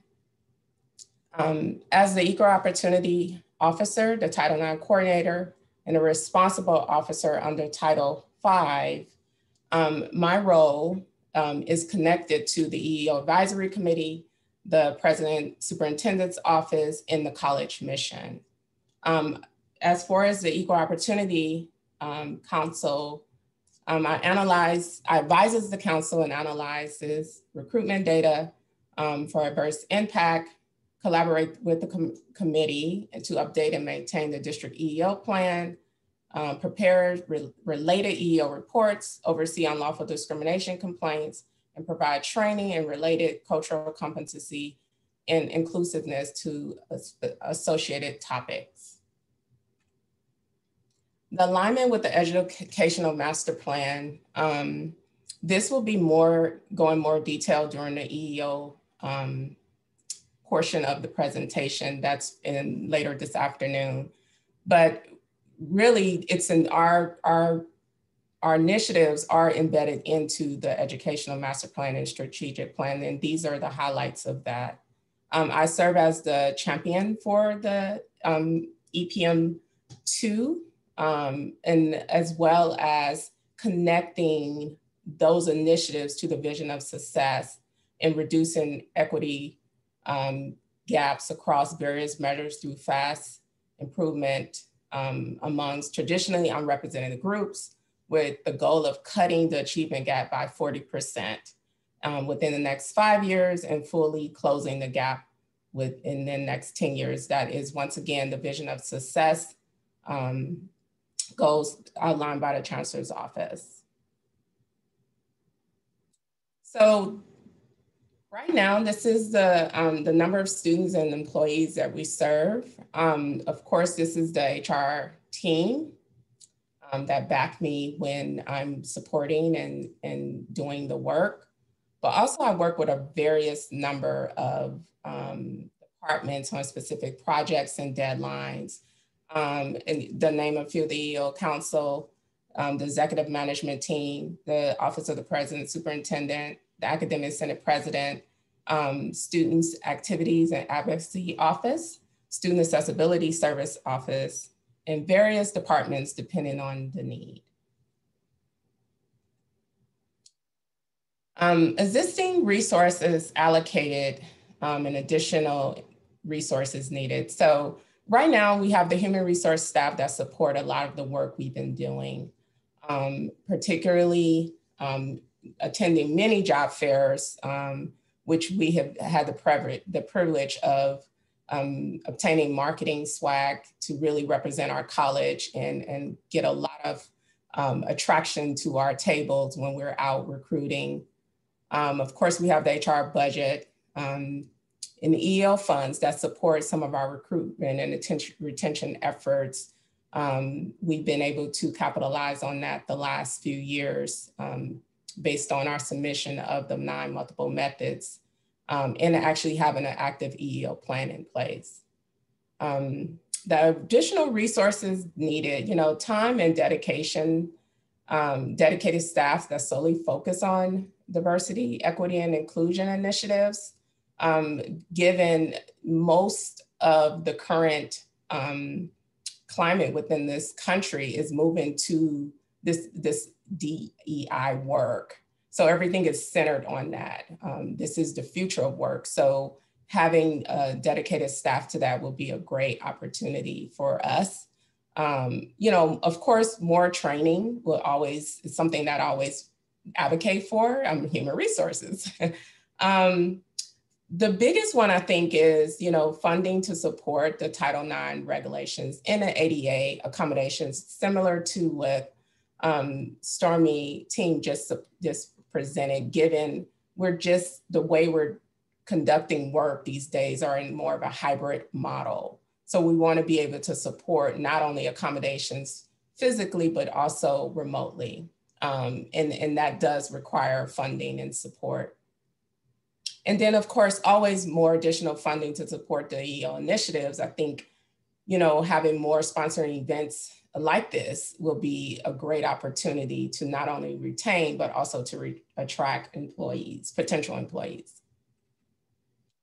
So alignment with other initiatives, um, the HR department alignment is embedded in our mission. Um, the mission drives all of the COM initiatives and programs. Um, and I think one of the things important to remember is, you know, in everything we do, it is the mission that's driving it from the educational master plan to the strategic plan to the program and services we provide students. Um, and the community. So I really I highlighted a few things in the in our mission because that is what's driving all of those plans and initiatives. Some highlighting accomplishments. Um, I, you know, there's quite a bit since I've been on board here at the College of Marin. I think um, one of the most, um, one of the biggest highlights I see is just having structure in our recruitment process. Um, and I'm going to throw a little plug here if anyone have opportunity to, to read over the accreditation um, uh, uh, interim report, I would definitely, midterm report, I definitely recommend it. It's very detailed in what we've been doing here.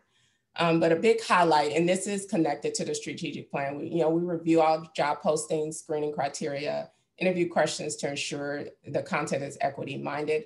Anyone that's serving on the committee is probably familiar with that or and also attended um, training um, with myself and General Counsel Amia Robert Shaw to really ensure that we are providing the training required to actually serve in a capacity of as, as a screening committee member.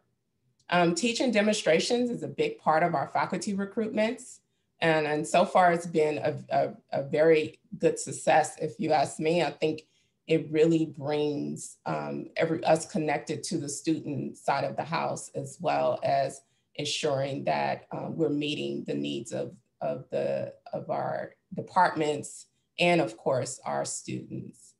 Um, we updated our evaluation tools um, to ensure that content was equity minded. Um, also, we're, we've updated administrative um, um procedure 7120, which is required in the EEO plan. In addition to, in the last three years, we've um, pretty much trained about 280 employees um, in unconscious bias in EEO Screening Committee 101. and then of course, the, you know, I can go on and on, but I think some of the things to highlight that it's, that's on the other side of the house that just in, in some HR initiatives in, in my department and area.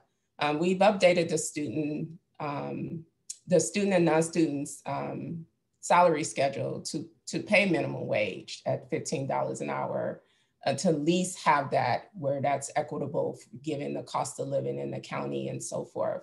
Um, we've developed a EEO opportunity non-discrimination webpage. Um, we've updated our hiring procedures um, related to criminal background checks to, to align with the Chancellor's Office recommendations. And of course, we implemented um, Senate Bill 1343, sexual harassment prevention um, for all employees, which all of our employees have been trained in as of today. A few more comments to add, and you know, just basic job announcements include student demographic data, racial data, um, along with um, uh, diversity statements, um, application requirements include description of applicants' ability to describe their experience, studies, or work that have influenced um, diversity, equity, inclusion. You know, removing barriers such as the foreign degree um, holder process, we've updated that with working with the Academic Senate to take to make sure that we're not creating barriers. Um, closed capturing is Five a minutes. big closed capturing is a big um, initiative today as we are in a remote learning environment. So we want to make sure all employees um, have that access, as Stormy was mentioning. Um, it's not a not necessarily about a compliance; it's about access. Um, and of course, the job fairs are a big thing for us. We're able to, to actually get exposure that way. And we receive a lot of feedback from um, potential candidates um, and the questions they have about our college um, and what we're doing here. So the greatest challenge, um, I, am sure most of you are not aware, but the, the last administration, um, presidential administration um, passed the new federal standards for Title IX. It's um, handling uh, campus sexual assaults and harassment. Um, that is probably our greatest challenge, um, being in a remote setting, in addition to the regs that are very um, time consuming and costly, but um, we, we definitely know that's gonna be a challenge, but we would definitely make it happen. of course, the cost of living, everyone knows that in Marin County. Um, allocating more time for job fairs, outreach in the pipeline. We're in this virtual climate, so how do we still attract um, potential applicants um, in addition to attracting the diverse applicants? Um, I think what stands out for me, um, just the uncertainty of the new normal work workforce and anticipating those needs while we do the equity work. That is what, what does that look like? It's changing daily. Um, so trying to keep a brace to that. Um, and then of course, compliance overload. Um, and I say compliance overload because there's regulations coming from federal, state, and local regarding the workforce. So we have to be able to uh, adjust rapidly to those uh, demands and requirements. Um, and, and that definitely is going to be a challenge. But the future is looking bright. I think prioritizing the DEI initiatives is something we're doing. And I think that is a great marketing tool for our, our um, institution. Virtual job fairs allows for expansion of applicant pools, the hybrid work model, you know, modifying our marketing, um, a, a, modern benefits plan to attract more candidates. And, um, you know, just, you know, being ready for the new workforce and, and, and what that looks like and the demands of it. And then the opportunities for collaboration, um, you know, creating a website um, to showcase the College of Marin equity work. As I mentioned, um, you know, when you attending job fairs, they want to know what we're doing. They're actually interviewing me. Um, so they want to know what we are doing. Um, so being able to go through that, um, have some access or resource to show them what all of you guys are doing, it, it's a great uh, marketing tool. You know, continuing to update our board policies and procedures through the DEI lens. Um, that is essential moving forward. And we've been able to institute that throughout um, some of the updated recent board policies and procedures. More and more and more equity summits. Um, and, and, this is an, essential for me because every year I'm required to report to the chancellor's office what our EEO efforts, equity efforts are. And a lot of time I scramble trying to find out what people are doing. And I reach out to our VPs and say, hey, is anybody doing some work in your area? So just being able to be present today and hear the work we're doing, it's a great opportunity and selling point for us. Um, uh, one minute. Okay. Leveraging technology. Um, of course, HR would be leaning on technology um, for more automated processes just to be able to allocate the time for the DE work, I mean DEI work. So it's like understanding what are what what can we um, focus our energy and and in um, areas of concerns at. Um, and also I think the biggest one that I think I'm excited about, which I've been asking for for years, um, it is the chancellor's office. I, I feel they're um, more engaged with the college and the work given some of the mandates that's come down. But I do believe they're more engaged and being able to provide us with resources to really implement some of the those um, policies and procedures that's coming through their office. And then of course they're creating best practices, which is great. It's a great tool for us to kind of guide to ensure we're in line um, with what they're expecting from us, especially when we have to submit reports and so forth. I'm afraid um, it's that time. Okay. Again, time goes by so quickly. I want to thank Nikki for her great presentation. I, I want to say that we're so fortunate to to be working with this human res this group of this team of human resources professional professionals under Nikki's leadership. In my 10 years, it's never been stronger. So I really appreciate the work that they're doing. So let's give them a round of applause. Lots of kudos in the in the chat box, which you have. Uh, thanks so much, Nikki. Okay. Uh, in putting this together, you know, I, I, I realized we have more acronyms than I think any other organization we must, right? And I think grit probably can't be, we're probably the only group that has a grit, right?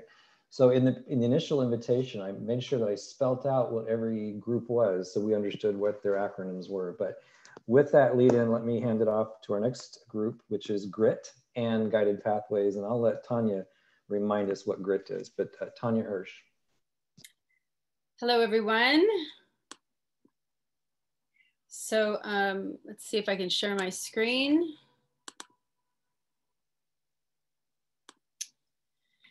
All right, um, so yes, I'm talking about GRIT and GRIT does stand for Guidance, Resources, Integration and Transformation Committee. Um, and yes, that is a lot to remember. Um, but it is very important work. And so recently um, GRIT has, the GRIT committee has uh, spent a lot of time revising our mission to make it more equity focused and to focus on um, anti-racist, um, you know, work to, and also um, initiatives in terms of anti-blackness. So um, I'm showing you our, our mission here um, and all of the underlined parts are the areas that we have revised.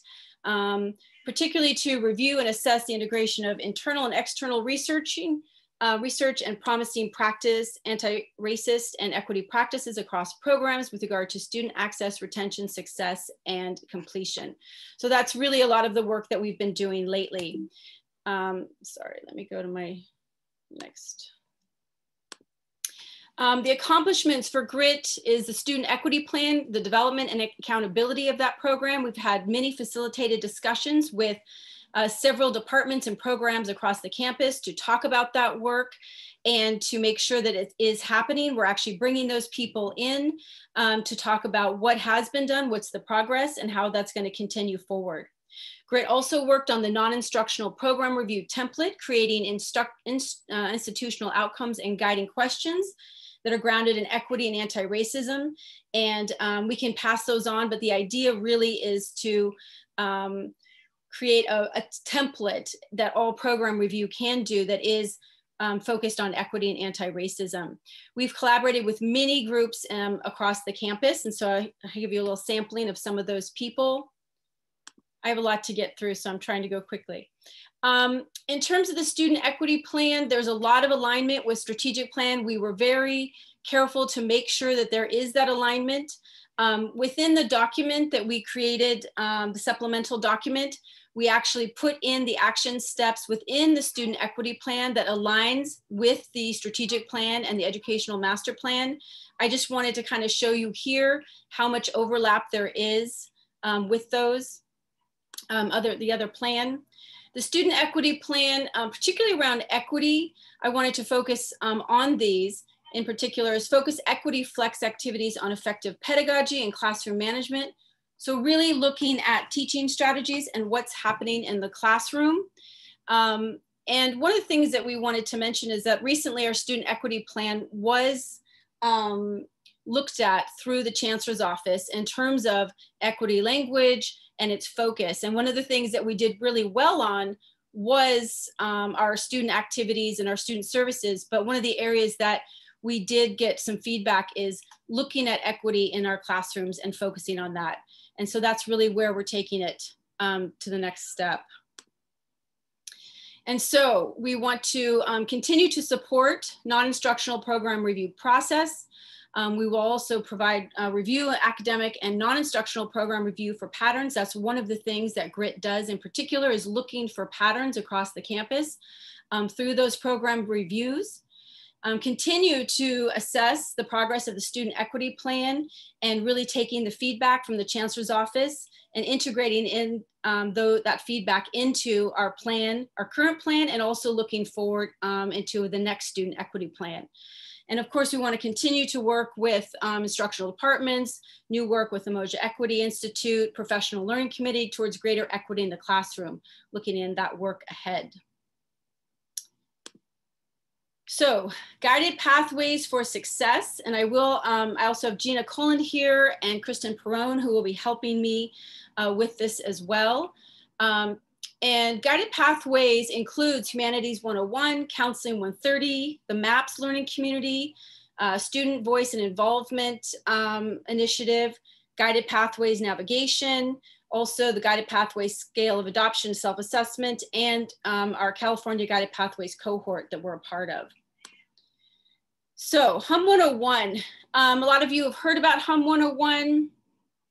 And this is one of our foundational courses for guided pathways. And I think one of the most important things to know about um, HUM 101 is that all of the classes, regardless of the theme, are all grounded in social justice. And so that's really one of the important aspects of HUM 101. The other aspect is that skill building, that career and discipline exploration. And it really is um, sort of a, a introduction into academic discourse. And the other nice thing about Hum 101 is that it crosses several of the um, across the campus because you have an English skills instructor who is providing that content, I mean, the, um, the content and the skill building. And then you have a counselor, you have embedded tutors and mentors in there, as well as content teachers across disciplines. And so it really is a collaborative effort. Um, we've also shown that there's proven support for the lowest GPA group of students. So students that fall um, at 2.7 high school GPA or lower definitely benefited from taking Hum 101 in terms of their ability to succeed later on. And so we're seeing success already, um, particularly with our students of color as well. Um, Counseling 130 is also another foundational course for guided pathways. And um, again, we what we do is we encourage students to take Hum 101 along with the Counseling 130. And that again, that Counseling 130 is about career and life skills planning. And, um, and so really kind of making that connection and then also connecting them with, um, with the learning communities, MAPS, Umoja, and Puente. So the idea is really trying to create um, you know, sequential support for students through Hum 101, through Counseling 130, and then the learning community. So really those wraparound services for students. And again, you can see alignment with our SAS goals for the educational master plan in terms of reducing barriers and effective orientation. Um, because you have counseling um, counselors teaching this course, you have that orientation throughout a whole semester as opposed to just um, you know one small orientation at the beginning. We have that throughout the semester so that students can get that support um, continually. And maps. I'm going to turn it over to kristen perrone to talk about um, maps. Kristen?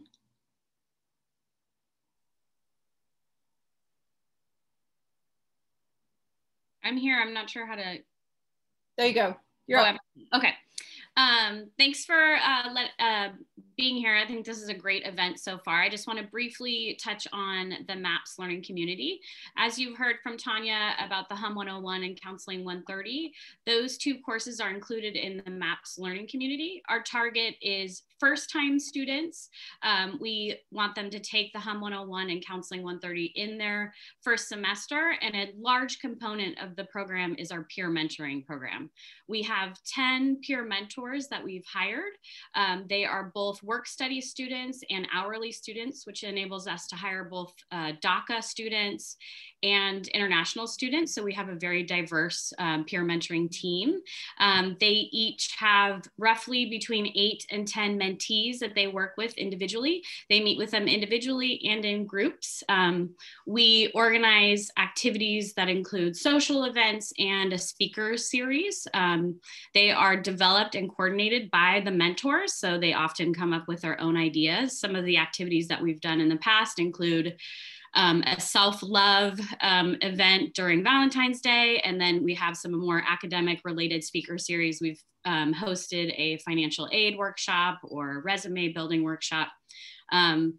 And we also, in usual times, have a physical space on campus that uh, allows students a safe and inclusive space to be able to come and hang out. Um, we realized as we, a few years ago, as we were moving forward with our program, there wasn't um, a space like that on campus that uh, was intentional in its inclusivity and the safety in the actual physical location. Um, students are able to come and hang out, get snacks, free printing. There is always at least two mentors kind of manning the area, um, welcoming students in. It has been a wonderful recruitment opportunity for us because students are able to bring their friends in and that's how we've grown the program in the past um, as we've pivoted to the virtual environment, it's been challenging um, to recruit mentees. So, something that we've done this year, um, actually starting last semester, was to have um, each mentor connected with HUM 101 and a Counseling 130 section. So, every class has what we're calling a class facilitator um, in the class, and this is giving our mentors direct access to students, and they're able to meet with the instructors regularly and help students navigate the class and Canvas and Zoom and all of the things that go along with the virtual environment. Um, they also have access to uh, us as counselors and additional resources on campus. Five, and with five that, minutes. I'll, I'll hand it back over to Tanya. Thank you, Kristen. Um, we also have um, part of Guided Pathways for Success is student in voice and involvement. So it's a, we are, um, Eric Munoz is helping with that to really um, use focus groups and surveys for their interest clusters and websites um, that we've been doing in terms of our Guided Pathways work. Um, we also, he's been using Hum 101, Counseling 130 and Compass students for some of that. And we're also looking at other ways to uh, look at to get feedback from students across the campus. So that's one of our goals. And you can um, see that it matches with gather and incorporate student voice as equity uh, scorecard process. And then um, we have collaboration across many different groups. And then here is our guided pathways navigation and scale of adoption self-assessment. So Gina Colin who is our guided pathways coordinator. She um, and many people, um, design services and um, IT have worked really hard to create our new interest clusters webpage and um, along with uh, career exploration links and discipline mapping. Um, and so one of the exciting things about this is having students engage and enter in terms of what they're interested in and looking at different disciplines in that regard. Um, and again, that's about reducing access and barriers and it is a part of the guided pathways model. Um, we also are part of the Guided Pathways California Cohort 2. Um, this is our team. Uh, Dr. Coon is part of it, Julian Solis, Nigel Hakens um, Apa, Alex, Alexander Jones, Eric Munoz, um, Gina, and myself. We also have uh, Jonathan and Carrie who are alternates, and we will be reaching out to people to see um, if people want to attend certain seminars and webinars that they offer. Uh, these are all virtual at this point. Um, but the idea behind this is really getting feedback from other campuses and engaging in that collaboration um, to get feedback and help and kind of work together on some of these issues. Um, guided pathways, we have been getting, um, this has been categorical funds and those funds do go away at the end of um, 21, 22. So eventually the district will need to help um, to take on those programs um, at an institutional level. So at this point, all of these programs have been run through that guided, those guided pathways categorical funds. And so our accomplishments have been, um, you know, the uh, grounded, uh, sorry, foundational courses and the sequential support strategy. So really looking at supporting students from the beginning, looking at Compass, Summer Bridge, and then getting in them into Hum 101, Counseling 130, the learning communities, and again, providing that sequential support across. Um, we've streamlined non-credit ESL enrollment processes, the new cluster, um, interest clusters, math and English placement process, and um, and we continue to work on that. Of course, one of the challenges always uh, capacity and people power. Um, so the work ahead is just refining that uh, Hum 101 and the placement process. Um, we have a lot of work to do with uh, still AB 705 in regard to um, ESL, working with our academic departments on the roadmaps, our master schedule, uh, including labor market, and really engaging all students to provide feedback on institutional efforts. And um, sorry, everyone, that was sort of trying to scrunch a lot of stuff in um, that we've been doing all those different groups. So thank you everyone who participates in this. These initiatives are really across the campus and um, there's a lot of hard work going on. So, and it's nice to hear everyone in terms of what everyone is doing. So thank you. Thank you, Tanya, and uh, the GRIT and Guided Pathways team. just yet another excellent example of how we are improving outcomes for students and really truly moving the equity needle. Just it's amazing. And I have to say that hearing about these programs this morning again, of course, is uh, I just miss being able to see and interact with all those students in these programs. So again, so let's give kudos to uh, Tanya GRIT team, Guided Pathways, uh, and I encourage you, to, as you have been, to give them some feedback in the chat as well. So with that, we're going to uh, move to our IDEA committee, and we have uh, T. Perales. Hello, everyone. Um, I just first want to invite us just to take invite you to take a collective breath. This is extraordinary work that's happening here at College of the Marin. So I just wanted to take a moment for us to just take it in and then just take that breath um, of just, you know, and we're also like pushing through time right now and constraints. So just to take that moment to just sit with this and acknowledge this extraordinary work happening here. So thank you, Dr. Coon, for um, for organizing this today. Um, and this has just been super inspiring and super informative. So just want to acknowledge that and thank you all again today. My name is T. I am, my pronouns are she, her, and hers, and they, them, and theirs. I am the Equity and Activities Coordinator for the Office of Student Activities and Advocacy, and I'm also the chair of the IDEA Committee, which is one of the love of my life, loves of my life. So I'm excited to talk about that with you all today. So this is our extraordinary team right now. We have are made up of students, staff, and faculty. Um, it has been an honor and a privilege to work with this team and um, just want to give a special shout out to just these extraordinary folks here on in the IDEA committee. Shout out to the folks who are in the house. And I first just really want to emphasize um, the theories and the practices that the IDEA committee is, is really rooted in. One of that being um, to really um, acknowledge and address and dismantle white supremacy um, and racism. And this example, I think sometimes when we think of white supremacy, we might think that that might look a certain way, but it really can even happen in um, ways that aren't as overt. And so this really shows some of the ways that that shows up and that we really are acknowledging that, um, that white supremacy is the foundation of this country and it shows up institutionally, including um, at college campuses and at College of Marin. And so we, really takes um, intentionality and we really are wanting to focus and acknowledge and name these things.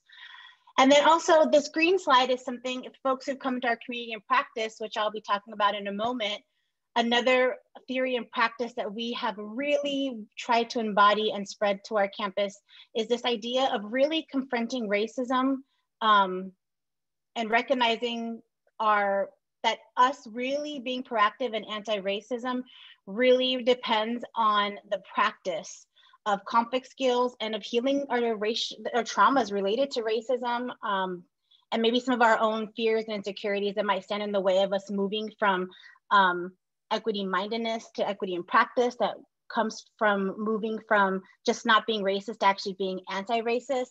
And when we talk about conflict skills, it means that we are really leaning into the discomfort that we might feel about talking about these really important topics, um, that we show up to these spaces and conversations with, with curiosity, with honesty, with patience with ourselves and one another, and that we really are here to work towards individual transformation and growth and collective transformation and growth and that um, you know these are really important conversations to have and really acknowledging that we're coming at it from different places and our different parts um, are at different places in our journey with this and how do we really work together collectively and really bring that to practice here at COM.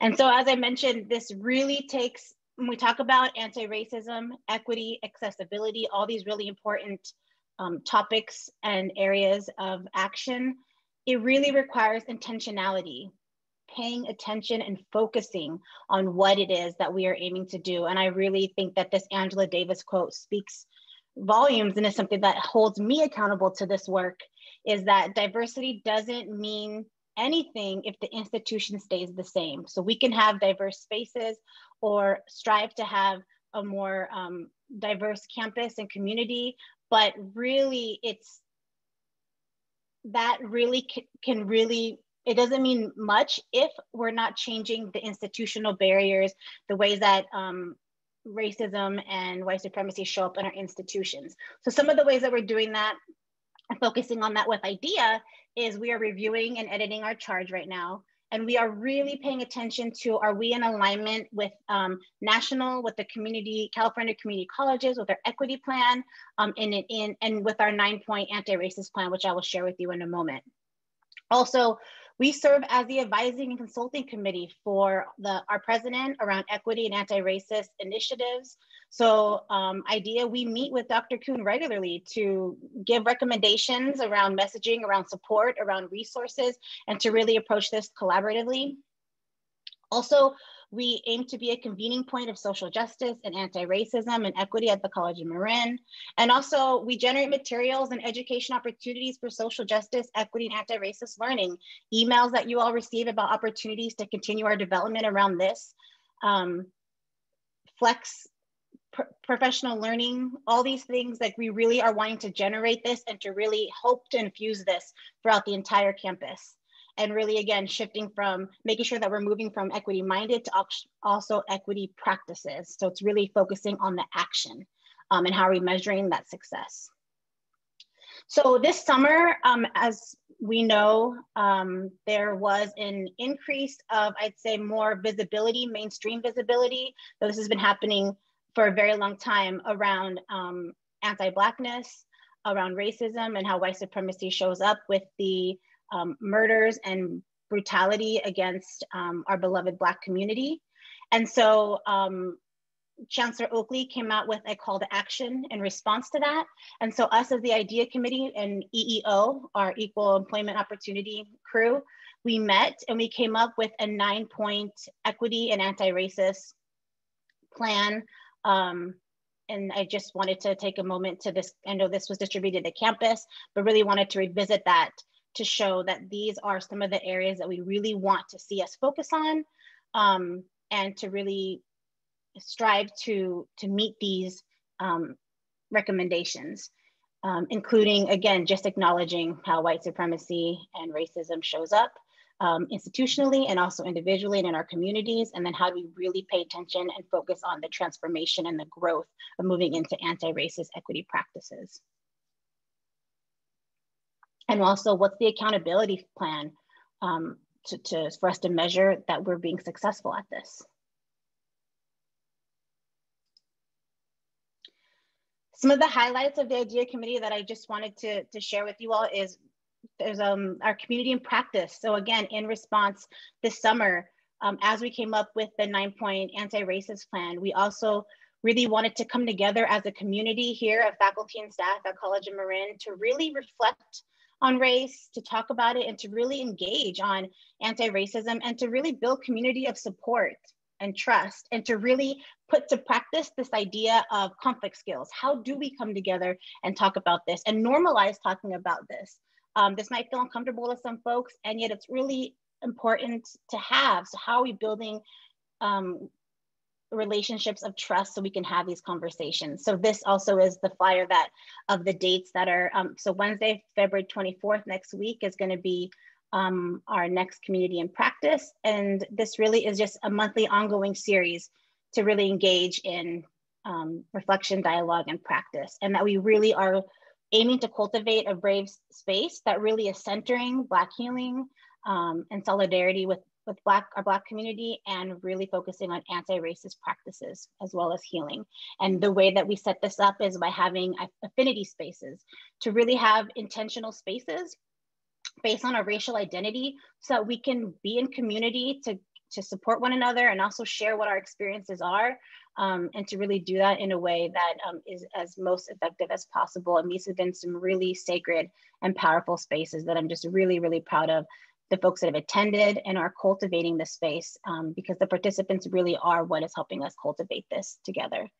Um, and then also there's this photo of Cesar Cruz. So the during our um, convocation, keynote speakers have been um, really rooted in equity and anti-racist practices. And the IDEA has been a part of making those recommendations of researching who do we want to bring to the College of Marin. And it's just been really inspiring to see um, you know, folks who are doing great work and to see um, presenters of color coming in and also sharing their knowledge and wisdom. And then also the IDEA EEO anti-racist nine point plan, just really proud of that collaboration and of seeing how that is um, starting to come to play and, and, is in movement here at College of Marin. And then this month, um, you may have attended our town hall conversation with Dr. Coon on race. And um, I just thought that was a really great opportunity to center this conversation and to, um, to have a conversation about race and to really use our town hall space to center this conversation. So really um, proud and thankful for that. And so when trying to calculate our number of students and employees served, though we have numbers on here, so we had our first, we had a in 2019 of the fall, We had a faculty and staff mixer for uh, faculty and staff of color to come together, talk about our experiences at College of Marin or in our communities. Um, so we have some numbers for that. Um, and then our convocation equity keynote speakers, which is for our, all faculty and staff. We were really um, happy to see that our President's Town Hall, our conversation on race had about 374 faculty, staff, and some students. Uh, our community in practice our very first community practice over the summer, we had approximately 35 faculty and staff. Um, and then monthly, we're averaging about 18 to 25 overall among all the affinity spaces. And then our flex, um, our spring flex session, that was community practice, we had 47 participants and really engaged in really powerful discussion and community building. So we're really looking forward to seeing how that carries into this semester. Yeah, five minutes. Thank you, Dr. Coon. We also have our flex sessions and programs, including um, cultivating safer virtual classrooms, LGBT, LGBTQ plus brave spaces, and all of the equity sessions that are happening, um, a lot that are produced from the flex, I mean, from the IDEA committee. And so even though we have some numbers for some of the programs and the and that we've we've served, really when I think about this, it's as that this is an ongoing movement. So if we're having faculty and staff mixers and we're having the community and practice town halls and we're having flex sessions. This is a ripple effect that really does, it'll impact the experiences as faculty, as staff, um, and also this impacts our students, right? So if we, um, in our roles as faculty and staff, are really doing um, our anti-racist and equity learning and transformation and practice, and really, you know, really holding that center, that is going to impact students. So though we have these numbers on the screen, this is impacting in a deeper level and even in a really expansive way that can't even be measured in these numbers right now. And I'm and even just hearing everything that's happening here at the College of Marin in all these different offices and departments in ways that this, I just want to acknowledge that this is beyond what numbers could even measure, that this is really changing the experiences um, of our students and even as our colleagues. So just want to make sure that we acknowledge that. And really, if we are, you know, in, in alignment of our equity plan, our strategic plan, our nine point plan, that really IDEA is in alignment um, with all of our programs on our campus. And we really want to deepen that. Um, and so these are just a list of some of those um, programs and, and initiatives. And looking at just our vision of movement, so that I think of this as a movement, a constant movement where we're trying to go. Some of the areas we really want to pay attention and focus on is how do we tighten the centralization of campus equity programs? Seeing there's a lot of what's been shared here this morning that i am aware of and that the IDEA, IDEA committee is aware of. And there's a lot, there's some programs and, and initiatives that are happening on the campus that were new to me. And so I think that that speaks to how do we really tighten the centralization of this? Um, and how do we really like, yeah, just tighten that. Um, we want to see the implementation, the success of our equity plan, of our nine point anti-racist plan, of our Umoja Equity Institute. Um, we also want to see ongoing anti-racist and equity, equity alignment campus-wide. So it's not just the IDEA committee. It's not just um, right Umoja. It's not just these the different departments in, that we've seen doing this training work today, but how are we making sure that's even going beyond campus-wide so that our board of trustees, our administration, our participatory governance are all that all have anti-racist and equity really center of um, all that we do and to continue to, to have equity, accessibility, anti-racism, and to talk about race and to really embody and normalize as a campus having these conversations, talking about how white supremacy shows up, you know, on our campus or in our communities. How do we really, you know, normalize talking about this so that this becomes just an expectation and a practice year round? I think about how we're in Black History Month right now, and I really, you know, uh, we really as an IDEA community are like, this is something that Black history needs to be year round. When we're having um, our Comchella, our different programs happening on campus, are we looking at, are we hiring and making sure we're bringing in the representation of Black folks, of people of color, of Indigenous folks year round? One, one minute. Thank you. And then also um, having a web presence of all of our equity work here. There's so much happening and how can we make sure that that's, in, is, there, is there a way we can have it in one place, visually showing all the extraordinary work happening campus-wide here around our equity and anti-racist practices. And also IDEA, we need institutional line for funding. Right now, there's not a funding line with IDEA. Um, Dr. Coon has been our primary support for initiatives um, that are and that are pushed forth by the IDEA committee. And I made it under time. So just want to thank you all again for um, being here today. And please reach out again. As I said, we as IDEA and me as equity coordinator, I want to know more what programs are happening. How can I support that in my role and, and as, as a committee of IDEA? So please um, be in touch um, of how we can really collaborate and really tighten um, the centralization of this. So thank you again so much. Thank you, T, and all the members of IDEA. Um, I'm reminded that we are really in challenging times and the water is very fast moving. And uh, I think in my reference to uh, the invitation of all, all of us paddling in the same direction, I think is uh, now more important than ever. And I do rely on the IDEA committee for uh, consultation when we're thinking about messaging putting out and, and, the different kinds of things that we're doing. The nine point plan uh, is a prime example of that. So I think it's a, a, I'm excited about the direction that IDEA is going and I'm excited about some of the ideas that you've presented as well.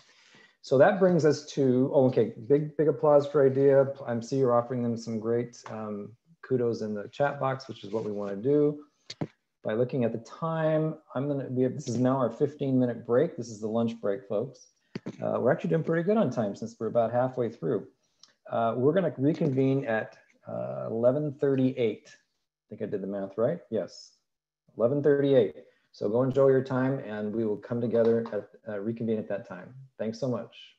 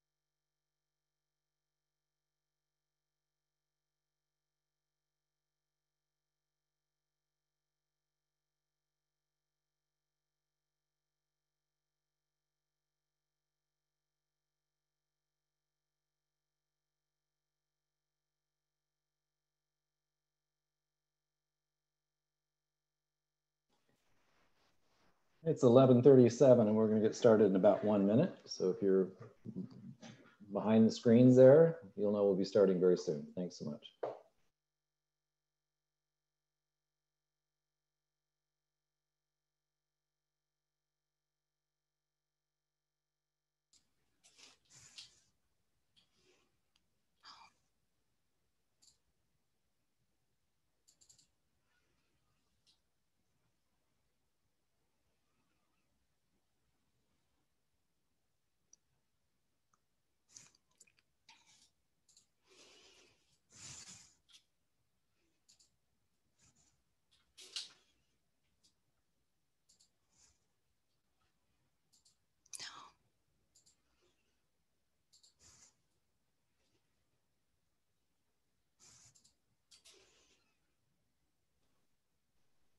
Okay, I'd invite us all to return. I hope you had a, a good break, albeit brief, a little refreshment, had the opportunity to enjoy uh, seeing more of how uh, Karen's graphic recording is developing. We're going to move into, we've got one, two, three, four, five, six more presentations. I'm projecting, given where we're slightly about eight minutes behind in the schedule, that we'll probably wrap up around 1:15, unless we make up some time in these next groups. So we're going to jump on in with the Professional Learning Committee uh, with Beth Patel. Beth. Okay.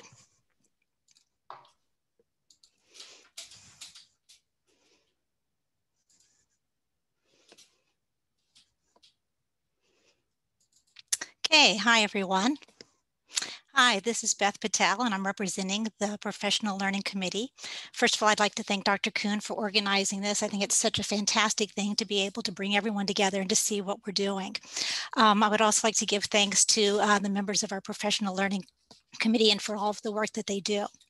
Um, the last presentation that we had before we left was with T, and she dropped off by saying, you know, one of the things that's really important is like, how do we centralize all of these efforts that we have?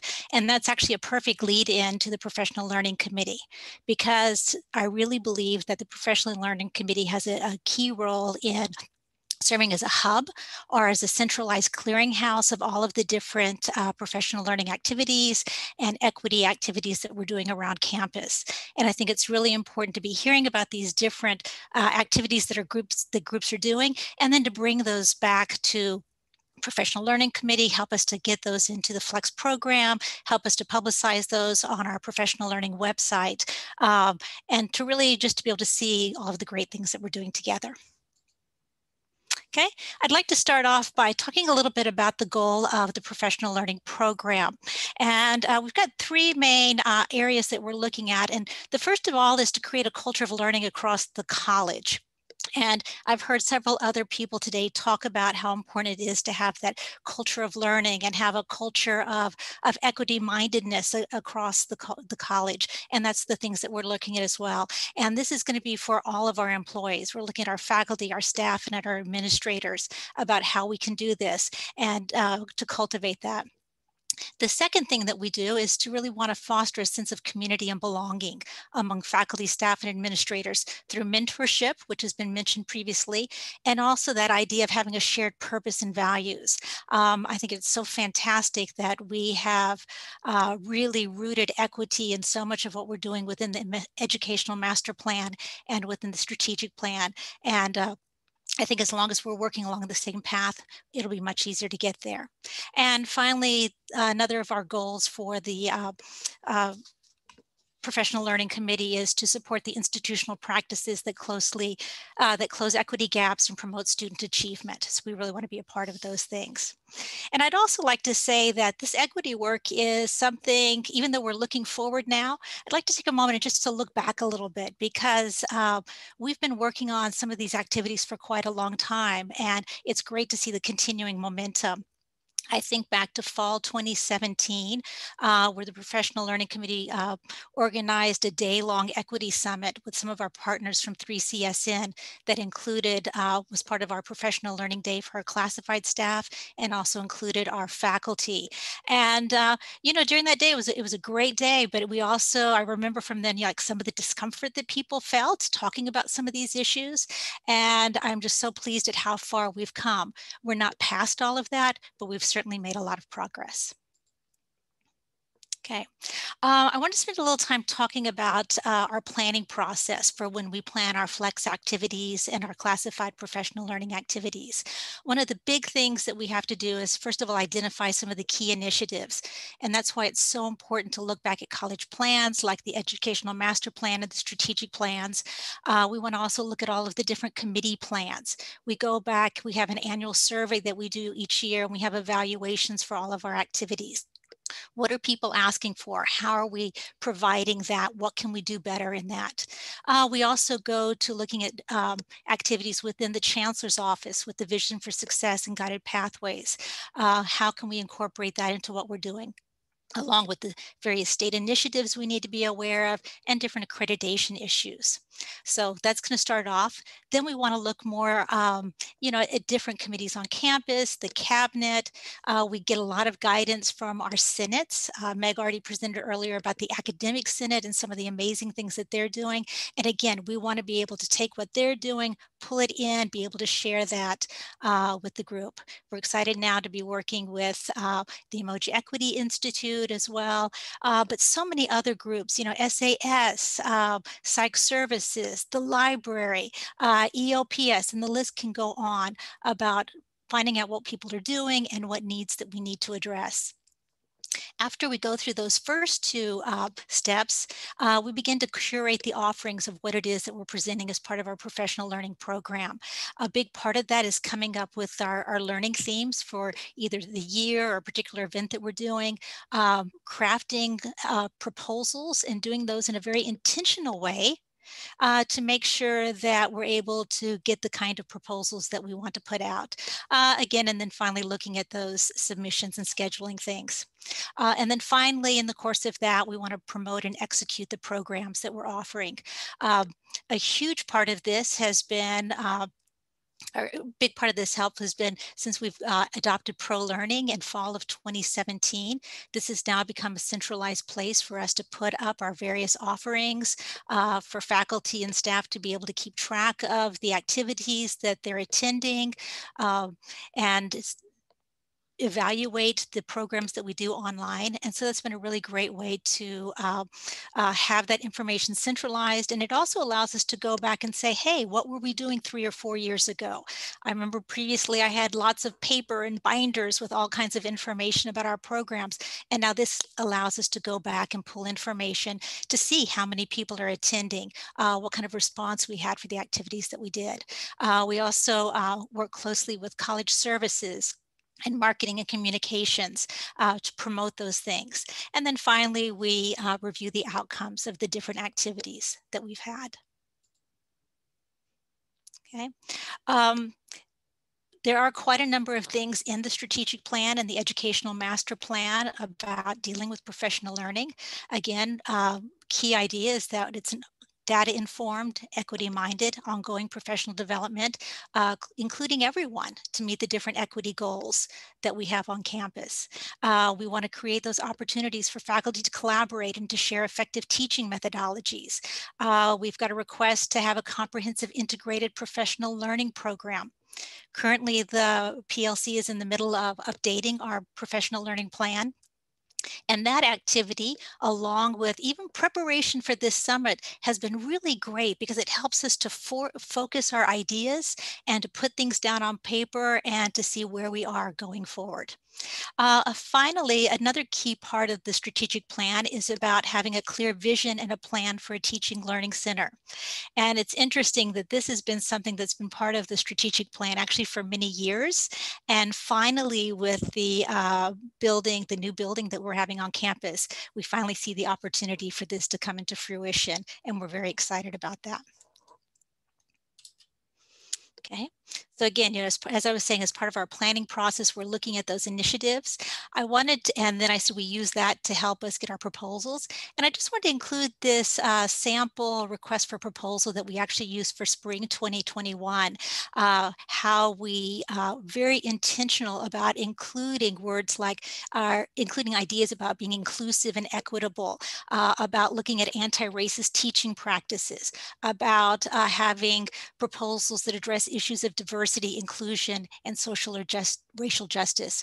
And we do try to keep that high on the list just so that people can be aware of it and that we make sure that we're meeting some of the uh, uh, initiatives that were identified in our earlier activities.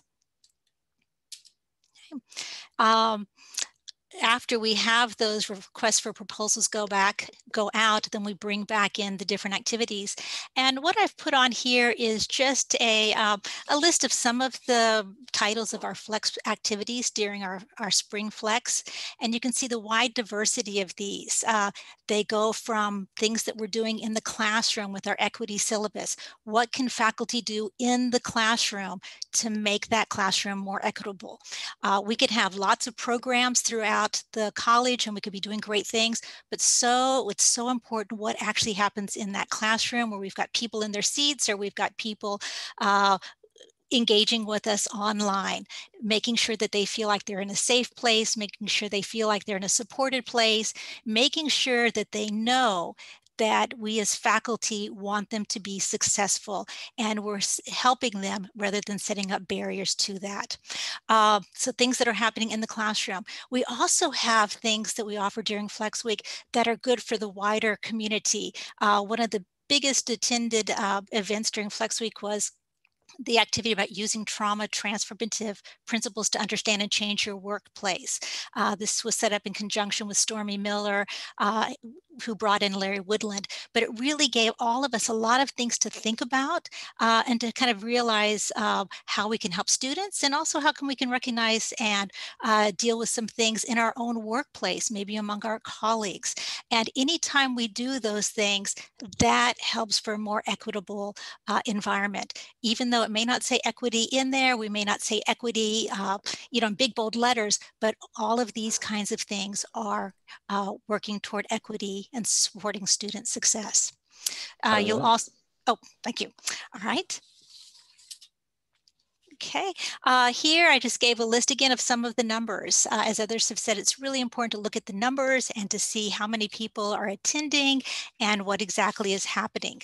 Um, and again, it's great to do that. Uh, with Flex, it's great because faculty actually have a, a mandatory obligation. Uh, so they need to be there. And we also have classified professional learning days where we have all hands and people are in there. So we know we have the opportunity to reach people. Okay, as we're looking forward in the future direction of what we want with our professional learning, uh, one of the big things that we want to do is decrease that number of ongoing activities. Uh, for example, a couple of years ago, we brought in a keynote speaker uh, who talked about grading for equity. His name was Joe Feldman. After that, we had several sessions related to that and how it's important for helping our students. Uh, we've recently done the thing about uh, raise the room, communities of practice, how to be better when we're giving, uh, working with our students via Zoom, some of the technology training that we're doing.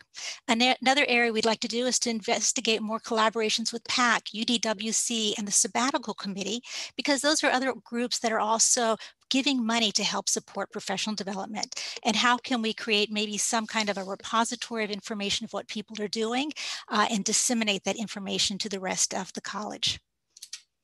Okay, and finally, I just want to talk about the idea of, of the implementing plans for a teaching and learning center.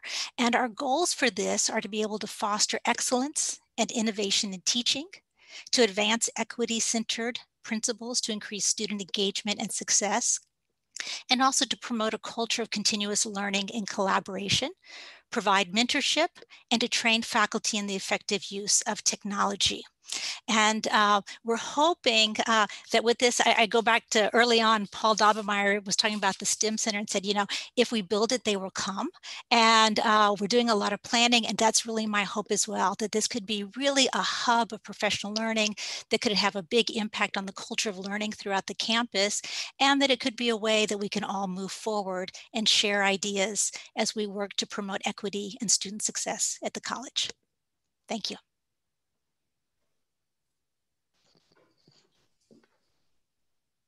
Thank you, Beth, very much. I, I, when I say this, I truly mean this, that our professional learning program has become the envy of other colleges. It's truly amazing. I had the opportunity to interact with a faculty member from Southern California yesterday, and I'm telling her all about our Professional Learning Committee in Flex Week because she was in awe. So congratulations and big kudos to everybody in the Professional Learning Committee and certainly Beth with your leadership. So thank you. I see lots of great uh, kudos to you in the chat box. So, okay, we're going to move along then to uh, psychological services and uh, invite Stormy Miller back to introduce her team.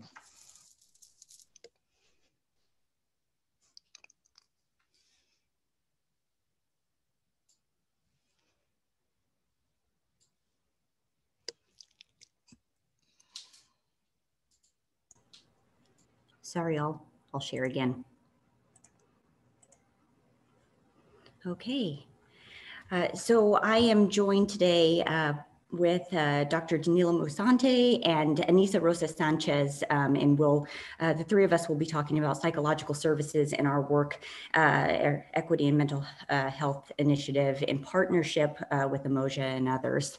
Uh, and, you know, I just want to take a moment to say, while we're here today and we're hearing about the collective efforts working towards equity, our continued work in that area, I think that it's critical to acknowledge that this has has been a, an incredibly challenging time for so many of us, right? As we're doing this heavy lifting, um, there have been so many things that we're also holding. We're holding the responsibility of caring for our families concern around grief and loss, um, looking at our system and, and, and the spotlight on racial injustice, systemic oppression, uh, seeing the experiences of those who are multiply marginalized, all of this to say that you know the struggle has been real um, and it's been uh, a lot to carry and it most definitely weighs on the emotional well-being and mental health of all of us.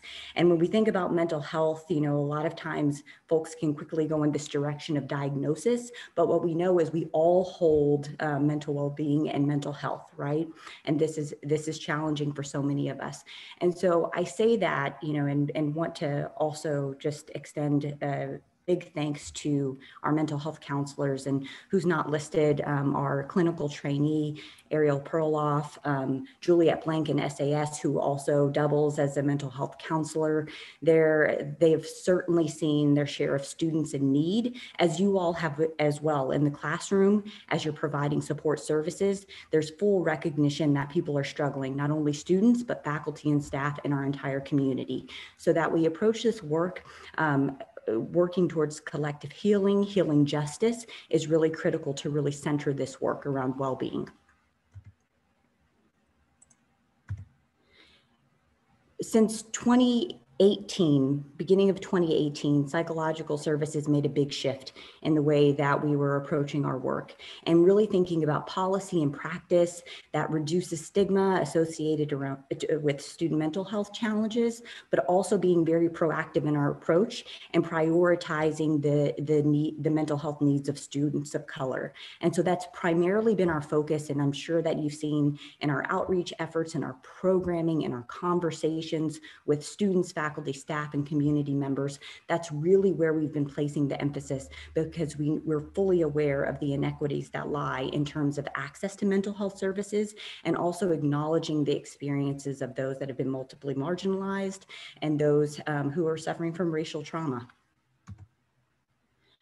when we talk about this framework, as much as I'd like to say that psychological services created it, um, we did not. We are really relying on the um, JED Foundation and Steve Fund and the recommendations that they have provided to institutions around equity and mental health that talk about promoting mental health and well-being of students of color campus-wide, that it not just live in your wellness services or psych services, but that it be embodied by the entire community that we really rely on the voices of students in terms of what mental health services looks like, who provides those services? How do we do that in partnership? We recognize the importance of having clinical professionals on staff, but we also want, know that each of us have play a role in really promoting well-being and supporting students and students supporting each other.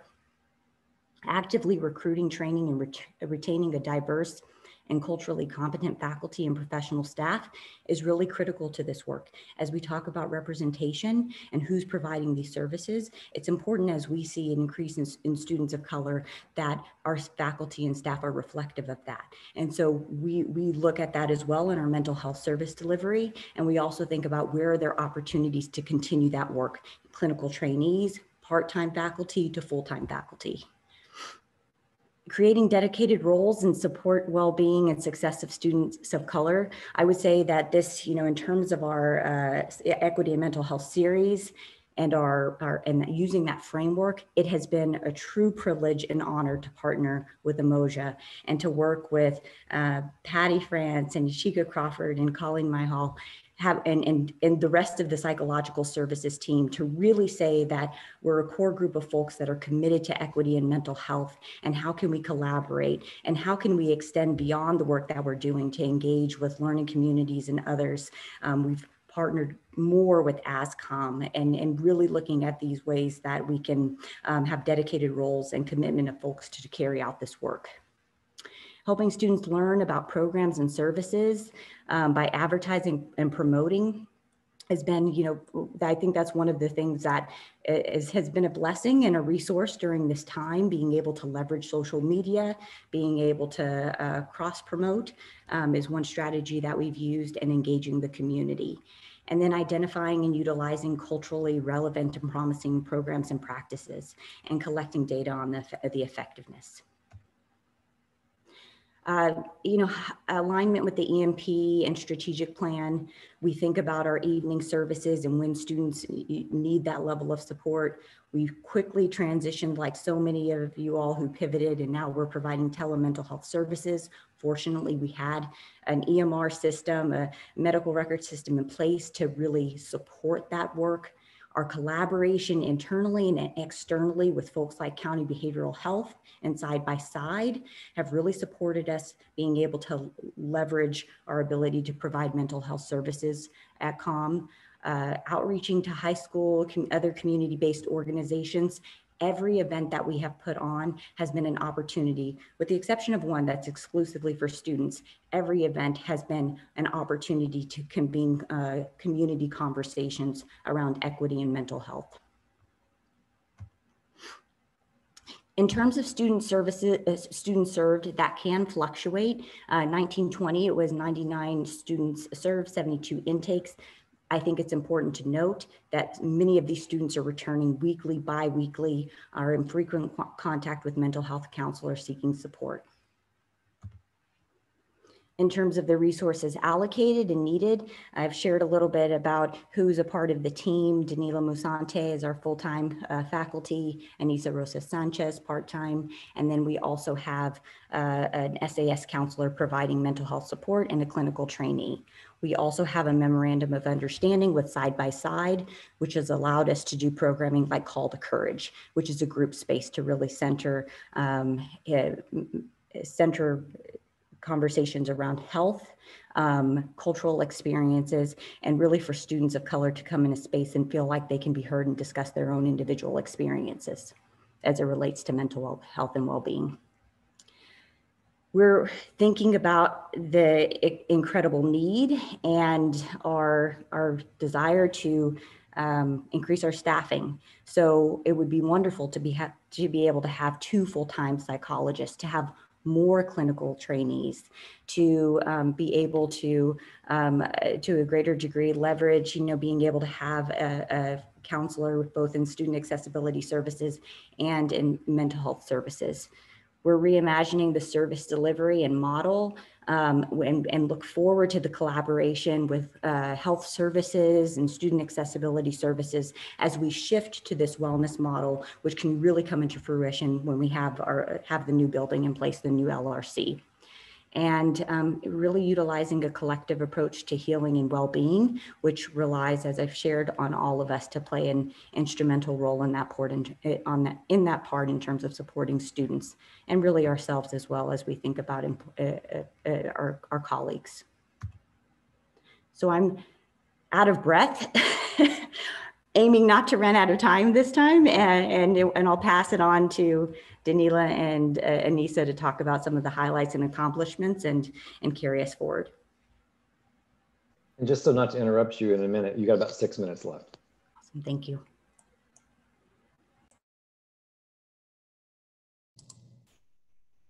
Okay. Hopefully I'm coming in here. All right. Um, and uh, we've got our, our stop our stopwatch going. Thank you, thank you, Stormy. Um, so talking a little bit, so Stormy highlighted, um, you know, some of the, uh, gave us a, a, great intro and background to a lot of the work that's being done in psychological services and focusing specifically on, you know, individual students who come in and who we provide supports to on a more individual basis, both in uh, ongoing therapy throughout the semester or year, or perhaps a few sessions of checking in and, um, or um, working uh, collaterally with, with other providers or other agencies to provide supports to the students, more case management or working with SAS. So on top of all of that happening all you know behind closed doors um, so so to speak these days um, there's also a whole arm of the work that we're doing in psychological services um, that's on a, a broader moving us right along yeah thanks on a on a on a broader scale uh, reaching the uh, campus community and reaching students um, perhaps who may who may not already be engaged in services who may not be familiar with kind of mental health supports may not have may not be engaged in them now or may not have ever and so thinking about um, reaching students in that way and we know that um, there's a lot of data um, about folks of color um, inequities in terms of folks of color receiving supports and folks of color um, getting uh, uh, engaging in supports at lower levels and rates. Um, and so when we so when we're thinking about that, we're not just um, we know that that that disparity exists. That we have many students of color engaging in our services, which is great. But we know that a disparity exists, and wanting to also go out to students and reach them in in other spaces um, and in other ways than just um, having them come in to support. So all that to say we have um, a bunch of programs that planned and that we've already done. Um, it uh, began several years ago with our equity, um, or uh, uh, we, we, began an equity and mental health initiative specifically several years ago in collaboration with, um, with the Umoja team. And as an outgrowth of that work and our first um, uh, uh, our first program um, in that on in that in terms of that work was um, our event several years ago with Dr. Kevin Coakley, um, entitled The Psychological Impact of Racism and the Imposter Syndrome on Mental Health. And um, so in programs like this, all highlighted here, um, uh, we've been able to, you know, do work increasing awareness and, and decreasing stigma, stigma around mental health and hopefully bringing in folks, um, you know, addressing mental health at a more community level and bringing in folks who may not, may not be familiar with mental health or, or in terms of in terms of mental health resources and supports. Um, also wanted to highlight our work with um, Art with Impact um, and the, the work that they do in, in, in many programs that we've done um, entitled Movies for Mental Health, also sort of getting at mental health in a, in a different way and using art in this case um, to, to talk about um, mental health and well-being. Um, we uh, so we've done several events. Those are yearly programs that we do. Um, and as Stormy had mentioned, also a collaboration with Side by Side that that um, that Beth also was referencing in, in her in her presentation. Um, and that is a, a new partnership that we have um, beginning at the end of last year. And we've started this program entitled Call to Courage that's specifically for students and for BIPOC students in particular. and we're running it again this semester. Um, and uh, that has focus topics um, in each session specifically aimed at um, um, uh, topics that are relevant and helpful uh, for BIPOC folks in particular. Um, coming up, we have one focused on identity, culture, and privilege, um, also restorative practices, so a variety of topics. Um, so, so all kinds of ways where we're really trying to think about how to reach students and how to address mental health needs on the campus community more broadly. there's uh, I could talk on and on about that, but I know we we are limited in time. So, uh, Stormy, do you want to um, advance, and I'll just talk briefly um, about the about the uh, so the, the great events we have coming up, and the first one being next week. And these are events out of our um, the, the first one next week on Tuesday is uh, out of our collaboration with um, with the uh, Art with Impact. It's entitled Poetry for Mental Health, and it has a, a focus on the LGBTQIA plus population, celebrating One minute. One minute. All right, so uh, Stormy, do you wanna just move us through? Looks like we're almost done. So this is our Call to Courage program and Black Mental Health Matters program. Um, and I have uh, talked for, for way too long and I, I know we were um, wanting to, I also wanted to include um, Anissa and have, get her have a chance to speak. So Anissa, do you wanna speak kind of briefly at pulling out perhaps some of the in, institutional accountability pieces we were wanting to speak on in, in, in uh, th thinking about visions for the future and some of our work?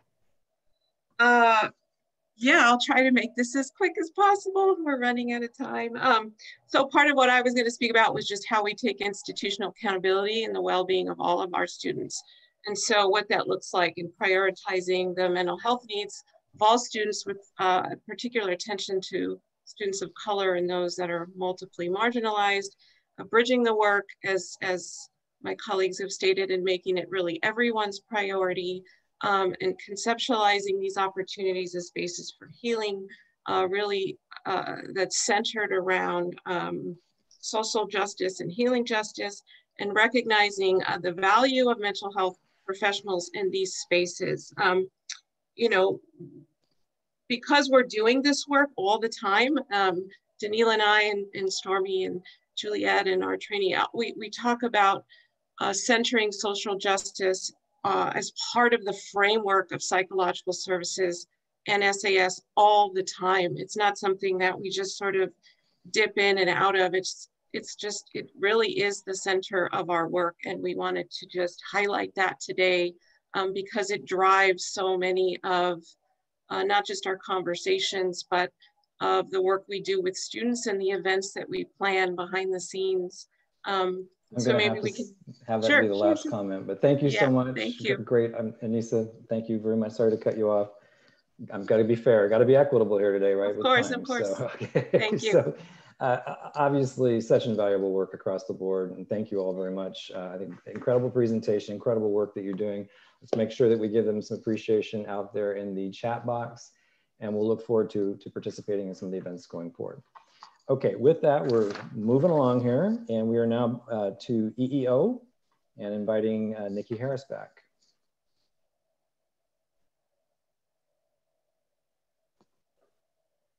Hello, everyone. It's me again. Um, Stormy is going to be navigating for us this morning.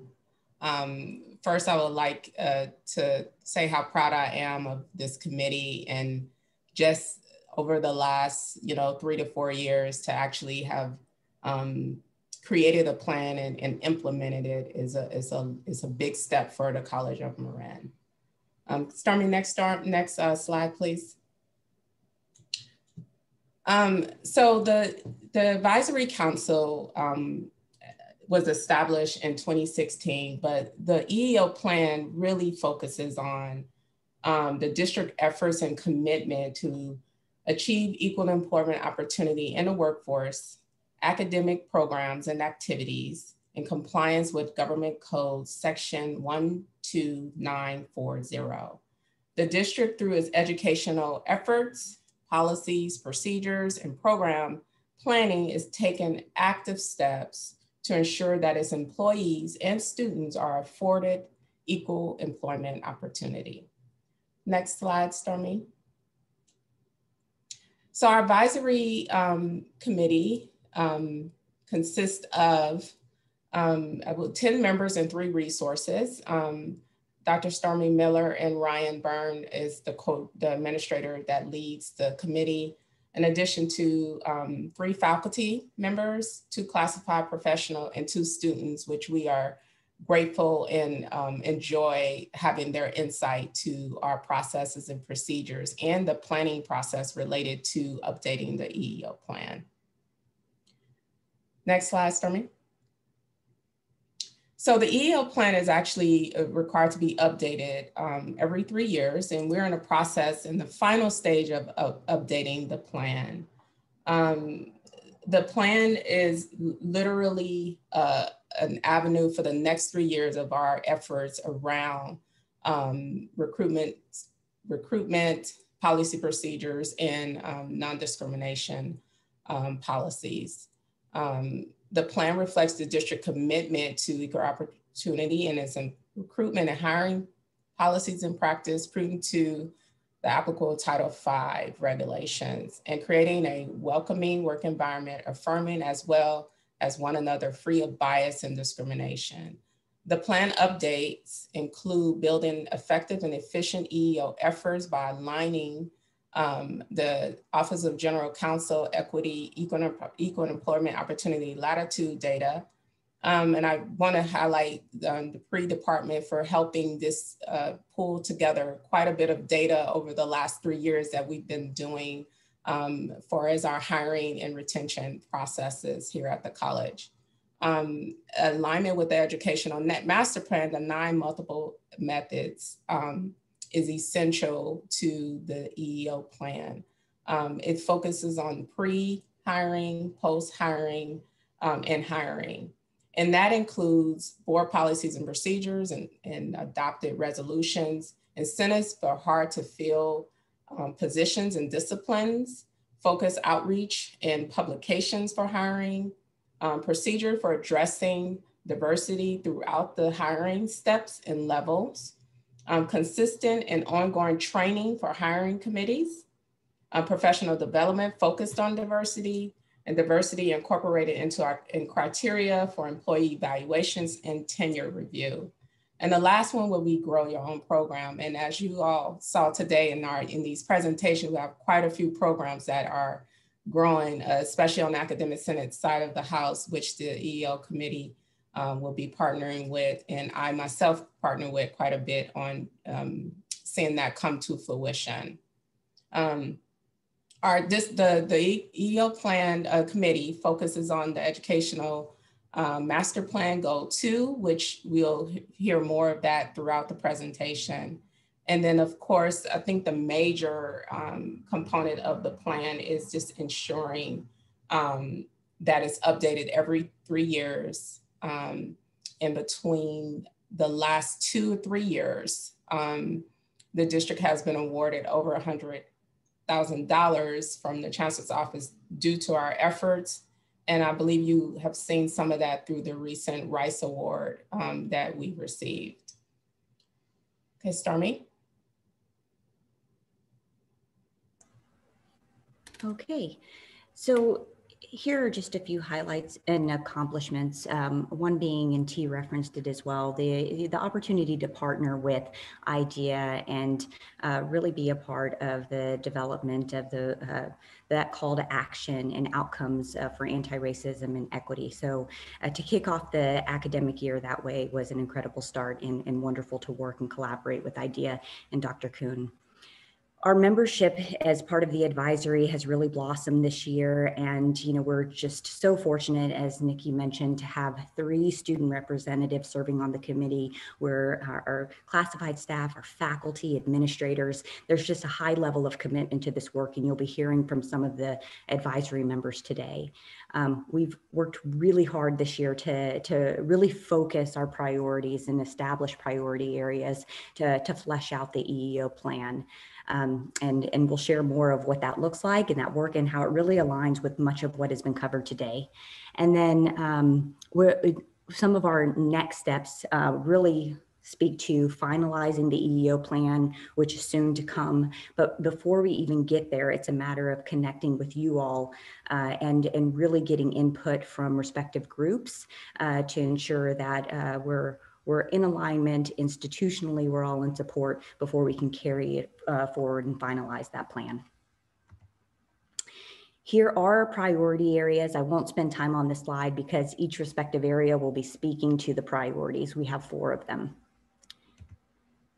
And Alex could not join us for this portion of the presentation, but Alex Jones is our priority uh, area one lead uh, around pipeline development. And we've heard about the faculty diversity internship program. Uh, we know that uh, embedded in the Umoja Equity Institute, there's part of classified uh, pipeline development.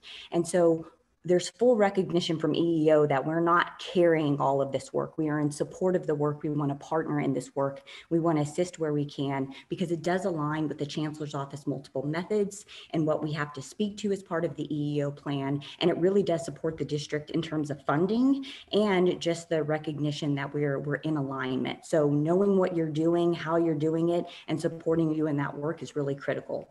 So we're looking at pipeline development from, from uh, multiple levels. We're thinking about the students that we serve who may be interested in exploring careers in post-secondary education at COM. How are we creating opportunities for them to, to develop professionally, professionally and potentially come back and work at COM or other respective institutions within the California Community College system or beyond?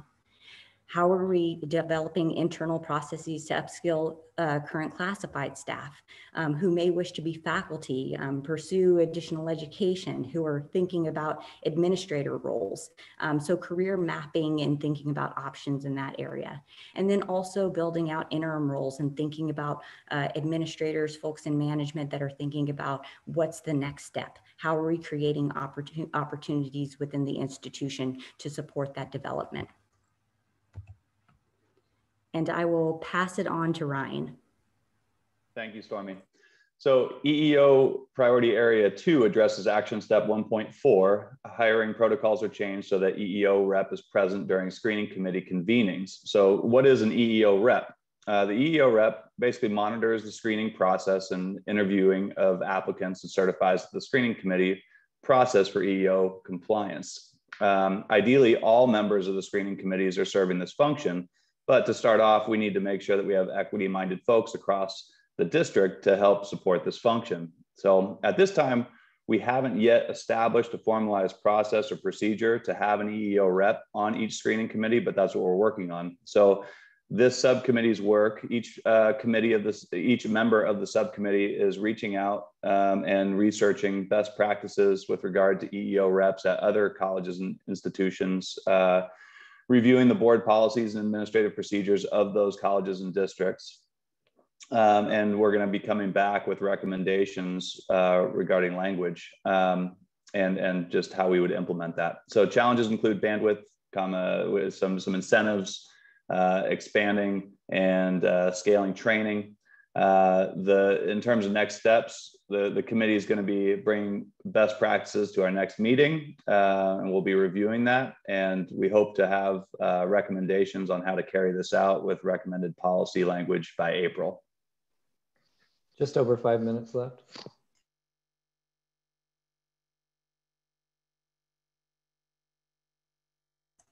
I'll pass it on to Manny.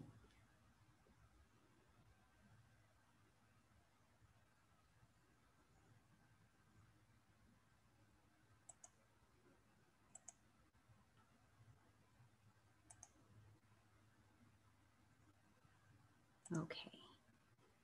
Maybe we'll just um, pause on priority three. We'll um, we'll come back to it um, and try to get Manny connected, and then we'll go to priority four.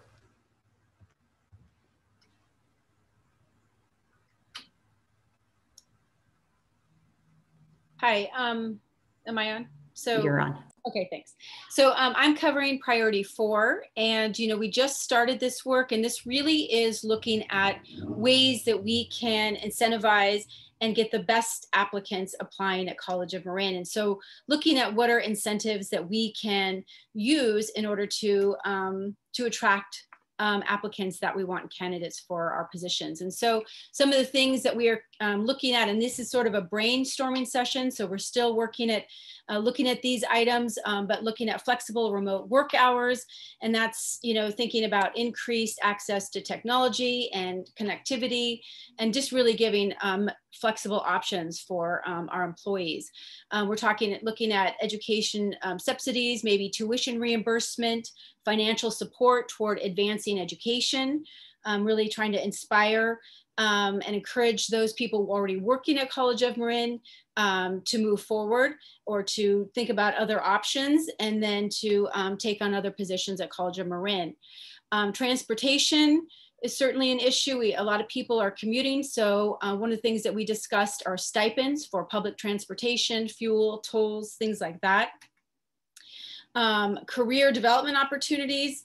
Um, we've talked about maybe shadowing um, other positions, um, mentoring, uh, as well as career mapping for employees to look at what are their options going forward, where are places for growth and development, formalizing um, the internships or grow your own pipeline uh, for classified and faculty, and really encouraging again the talent that we have at College of Marin to think about you know other options and helping to grow our employees at the campus. Um, looking at considering ways that we can provide childcare assistance, um, and then specifically, you know, all of these things will hopefully encourage um, people of color to apply, but we also want to make sure that we're focusing specifically on people of color to diversify our staff and faculty at College of Marin. So providing information to prospective candidates on local identity focused organizations, um, providing tours for the community members um, with a member of the team, kind of a buddy system to help, um, and really looking at our um, hiring process. You know, can we have some events and job fairs at COM? So really bringing people onto the campus to have interactions. They can meet us, find out that we're wonderful, great people and they want to work here. Um, and so, and other options like cluster hires and things like that. So we're really trying to look at a lot of different options and then housing, everyone, um, that's also on there. And looking at that tiered um, support for housing, you know, rental assistance, um, assistance with buying and partnerships and those kinds of things. So um, if you have ideas, let us know of other ideas you have because we are expanding on, on this as well. Thanks. Okay, Manny with us? I'll just quickly cover priority three and Manny King and uh, Dawood Anderson Zafir have really taken the lead um, with EEO visibil visibility via web page, newsletters, um, and just the way that we uh, present data. And much of it has been said in terms of web presence, how are we collectively uh, sharing the good work that we're doing as it relates to uh, our equity efforts and EEO. So building out some of these areas, media presence, it really does support our ability to um, recruit potential folks. They're they're looking at our website. They're trying to find out who we're about, um, culturally get a sense of the institution. And when we have um, a greater visibility and web presence and share our EEO work, it really does support our efforts in terms of uh, recruitment and diversifying our faculty and staff. One minute. And I'll pass it to Nikki. And um, once again, thank you, Stormy and um, the team for um, given a, a, a, summary of what the work that's been done. I think one of the things the committee has been really focusing on the last few um, you know, months and last year is really finding out what a work is being done at in the college and how do they impact and we connect that. I think one of the major opportunities we found was creating some type of flow chart or organizational chart that shows the various ways leading back to the mission, the educational master plan, where that work has been done, like a visual um, for people to really see how everyone plays a role in equal employment opportunity. Um, you know, identifying work groups or constituent groups with support pre-hiring, hiring, and post-hiring processes and a collective ability to carry out the plan um, it takes a village. It's not just one person's job, it's the whole institution. We all have the equity minded lens on. Um, so we want to kind of engage in that. Um, the Chancellor's Office recently developed a new uh, pipeline uh, project with um, historically black colleges and universities that's coming out. So as I mentioned, I'm very pleased to see some of the work coming out of the Chancellor's Office, especially with connection to the vision of um, success. Um, we're going to have to end it on that note. That's okay. Thank you.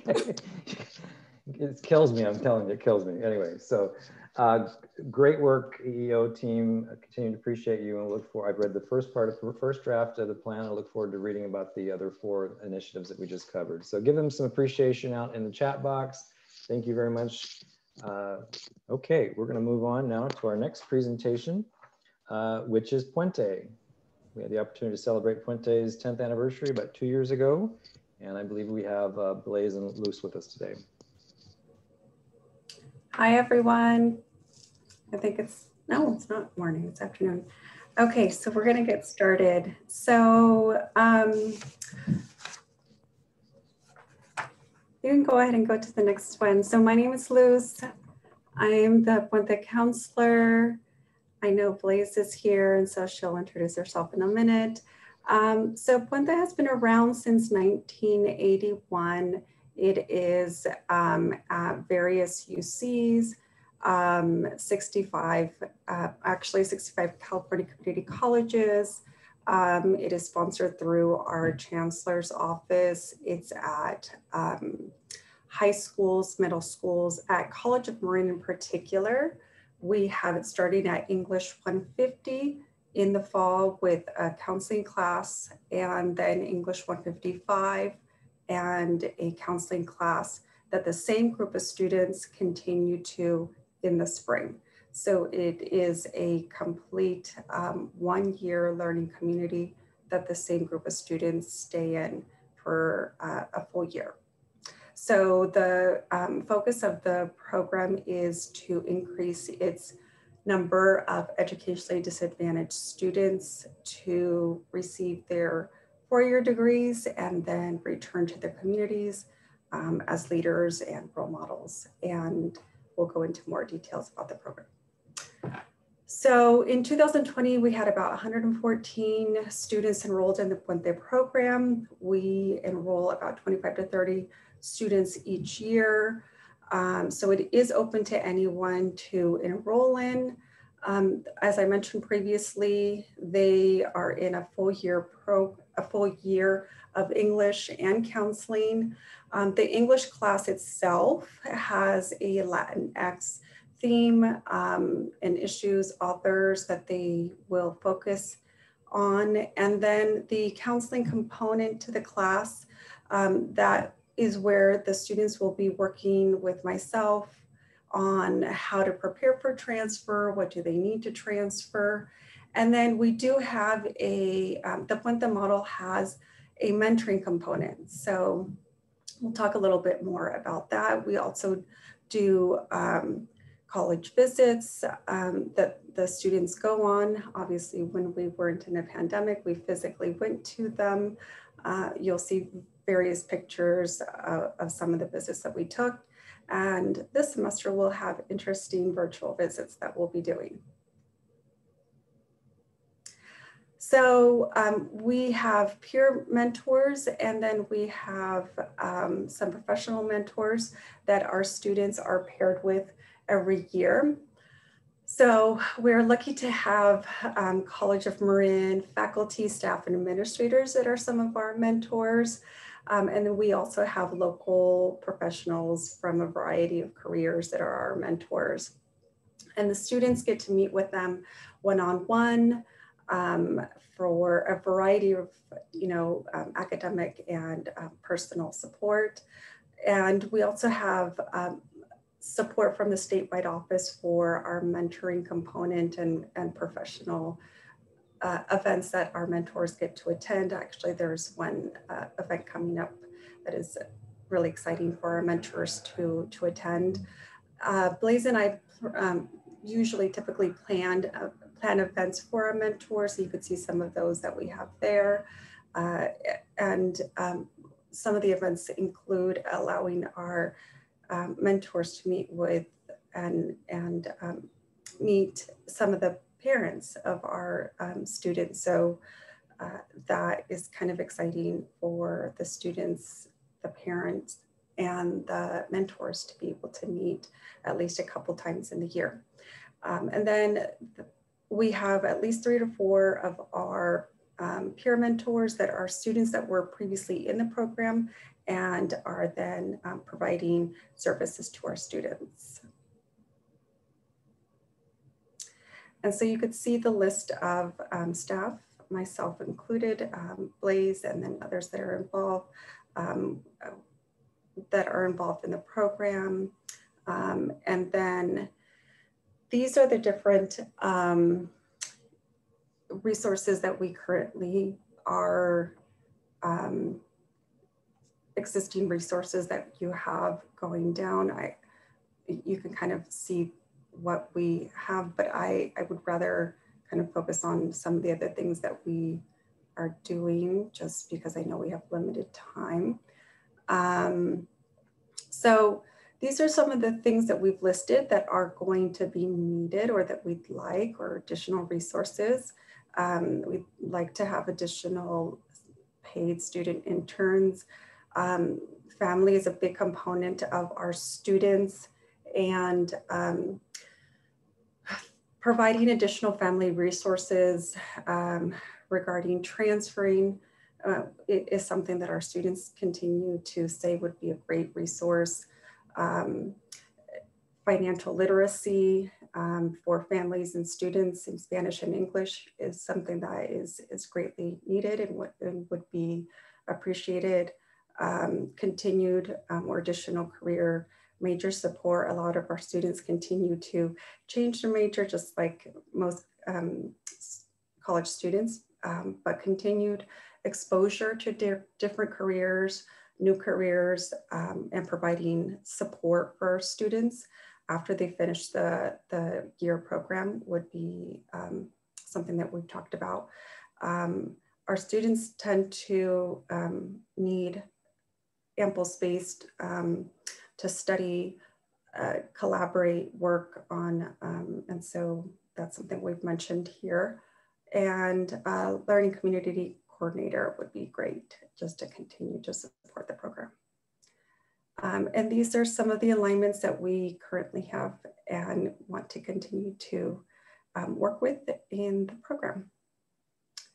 So EOPS, STEM, um, Umoja, and um, the de designated tutors with the English department and math. All right, I'm going to take over now. We got a couple slides about some of our achievements. The program has been on campus since 2008, so we've got some nice things to talk about. We've done some research compared to similar uh, college run students. Our Puente students are more likely to persist and succeed, persist to the next semester, more likely to succeed in English, more likely to stay enrolled, more likely to become transfer prepared, more likely to complete degrees. And just so you know, all the photos on this PowerPoint are our students. Um, here's some nice charts we got from the statewide office. Uh, so since 2011, we've had 95 students transfer that they've been able to track. About half of them go to CSU, about a third to C, uh, UC, and the rest to private or out of state. Um, looks like our number of transfers has increased over time. And that uh, it's really important that they're getting through faster. The average time to a degree at College Marin is 6.6 years.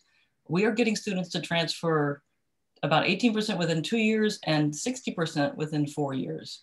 Um, so that's a huge service that we're providing.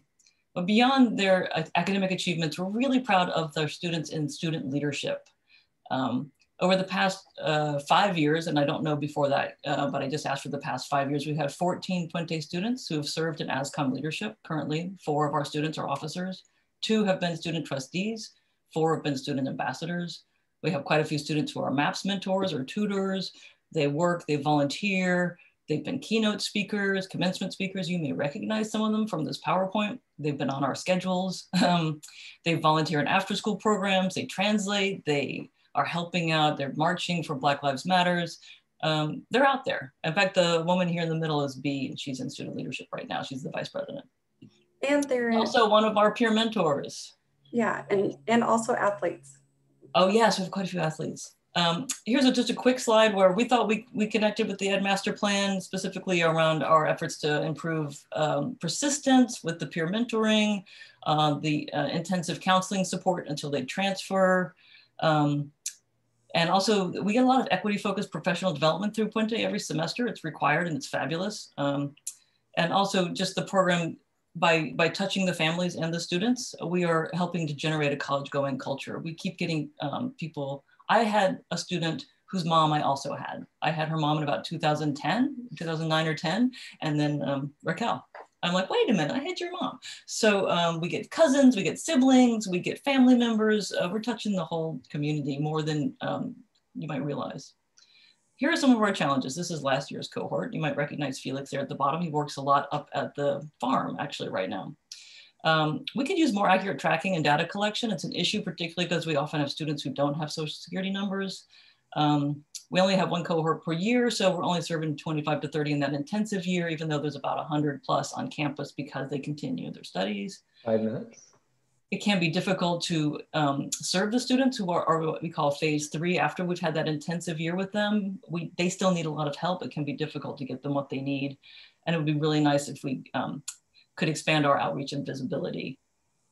Here are some future directions. We just did a program review process with lots of help from some people who will hopefully be on our Puente Advisory Council, which we hope to set up. Uh, we want to have help the students revitalize the Puente Club. It's really their bailiwick, uh, but they could use some energy. Um, we want to develop an online Puente alumni network, which no one else has done, but we'd love to do. Puente at statewide level was talking about training content and structures outside of the two core faculty members to spread the pedagogical uh, equity focus um, around the campus more. We'd love to do that. We'd love to have a second cohort starting a little bit lower. Now that we start at 150, there are students at the 120 level coming out of ESL, coming out of basic skills, who could use are just starting a, a one level below transfer more support. And there was discussion of a new Latinx focused learning community that wouldn't be would be connected to Puente, but to really focus more on students in ESL and basic skills. Um, lots of opportunities for collaboration to build on. We've already worked some with MAPS and outreach. Love to see some community service projects that we do with other learning communities. Our students get very equity minded as a result of our program, and it would be nice to say, here, go help at the detention centers. Here, go volunteer over here. There's a there's a movement for change, and you want to be part of it. And they do. They just don't have the links to get there. Uh, we've been collaborating with like some more with the STEM Center, Transfer Center, Umoja Equity Institute, and of course EOPS.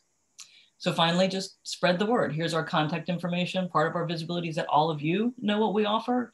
We really help students prepare for transfer. We help them become leaders we, we create a community that stays. Um, and some of you have been our mentors. And so you know how lovely it is to get to know our students.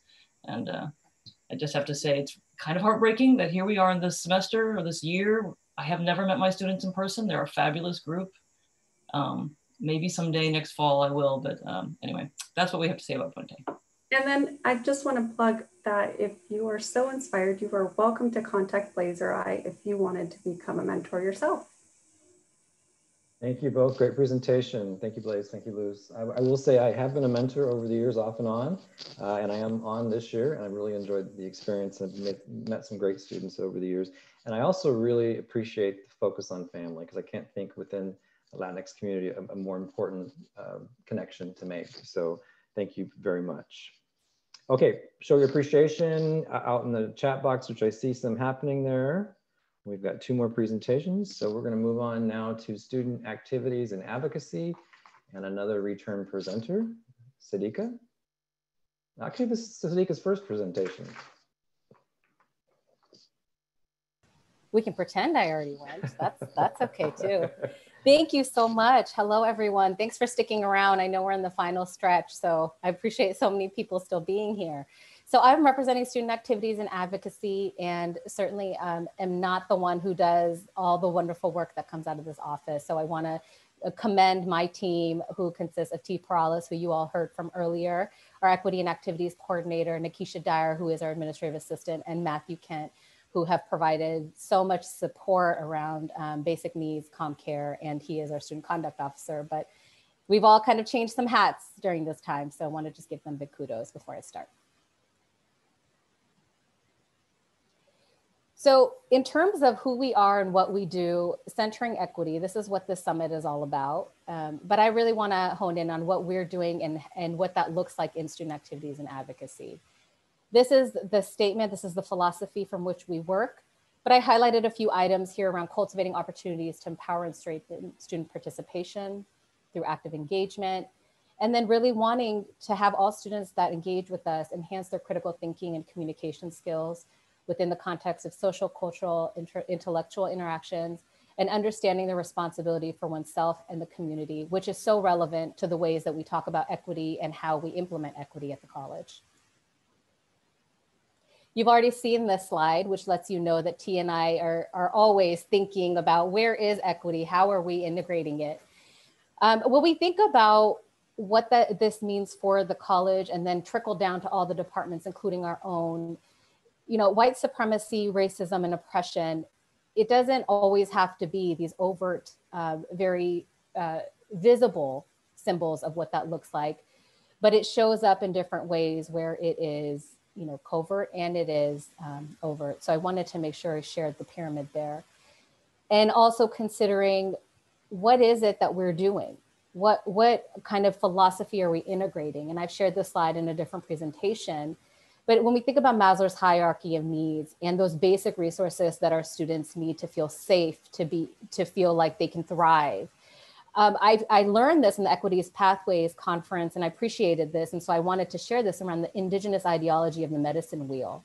And Stormy and her team, you know, spoke about this a little bit about holistic care, right? It's beyond just the resources, but what are we thinking about physically, emotionally, spiritually, mentally? Our students are handling so much right now and are, have always been handling so much, but it really is coming to light right now in the pandemic. So social justice in action really is something that I believe that our office does and does very well. You know, we are we work through the framework and understanding that procedures and practices in all institutions of higher education, including College of Marin, they're rooted in white supremacy. That's what higher education was created for. That's who it was opened up to. Um, and so it is our job, it's our responsibility to counter and dismantle this through creating equitable access and support through all that we offer in our office we have a lot going on at all times, but I wanted to highlight the three kind of larger areas and try to fit in as much as I could. So this first area of programs, events, and leadership, these are some of the bigger events and programs that we offer. And we've offered that prior to the pandemic and continue to offer this through the pandemic in a virtual environment, which has been pretty unbelievable. And if, if you any of you have come to any of the events or programs that our office has put on, student government has put on, you can see that I feel like the innovation is still there. Our students and our staff are really trying to recreate and continue to create the spaces of belonging for our students. So some of the highlights for us when we think about equity, social justice, our Women of Color Cafe, Cutie Pie Cafe, which is our queer and trans um, folks of uh, space uh, that we created, Welcome Week, healing spaces, so when I think about uh, 2016, when the Trump administration came on board, there was quite a bit of fear and concern, in particular in our undocumented and um, immigrant populations. And so we held healing spaces in collaboration with other offices. And this is something that we intentionally do because we want to think about who are historically marginalized communities who are currently and continue to feel impact of the legislation, of the changes, of the procedures that are happening.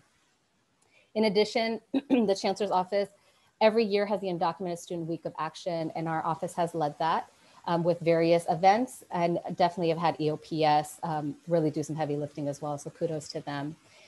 And the T Perales has created our LGBTQ plus braver space, space training, which has really taken off and we provide regular flex and classroom presentations. And um, thank you to Puente for always inviting us. Uh, it is, I think that's the reason why we see so much ASCOM participation is because you all have collaborated intentionally. And then ASCOM student government. I think that this is a huge highlight and accomplishment for us.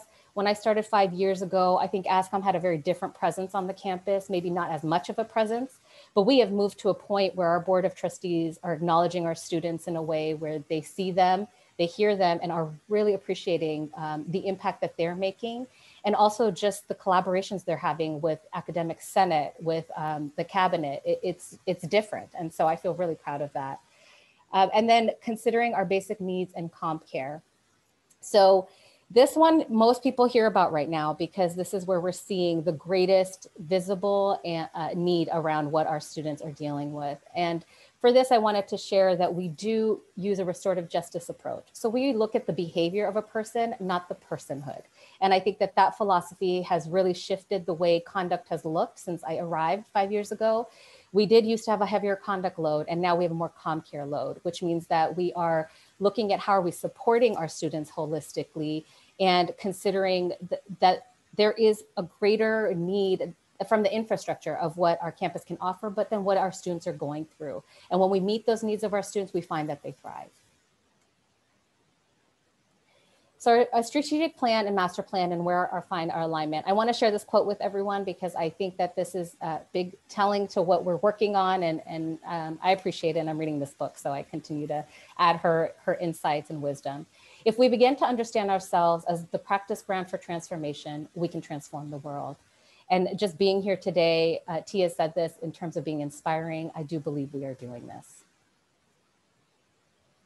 Our alignment with the strategic plan, our educational master plan, um, I, these are kind of the bigger highlights, but I feel like we have different elements infused throughout. reducing barriers and creating a welcoming atmosphere with increased human contact. This is something we um, really strive to do through Welcome Week and throughout all our programs. And Welcome Week really started in 2015 when I arrived. We didn't seem to have kind of a cohesive program that existed. And we find that students are tapping into it and continue to tap into it while we're in a virtual environment. Decrease towards elimination of existing racial equity gaps, the college being a leader in promoting equity throughout the county. We have quite a few partnerships in the county. And then make the college a center for community engagement and cultural enrichment.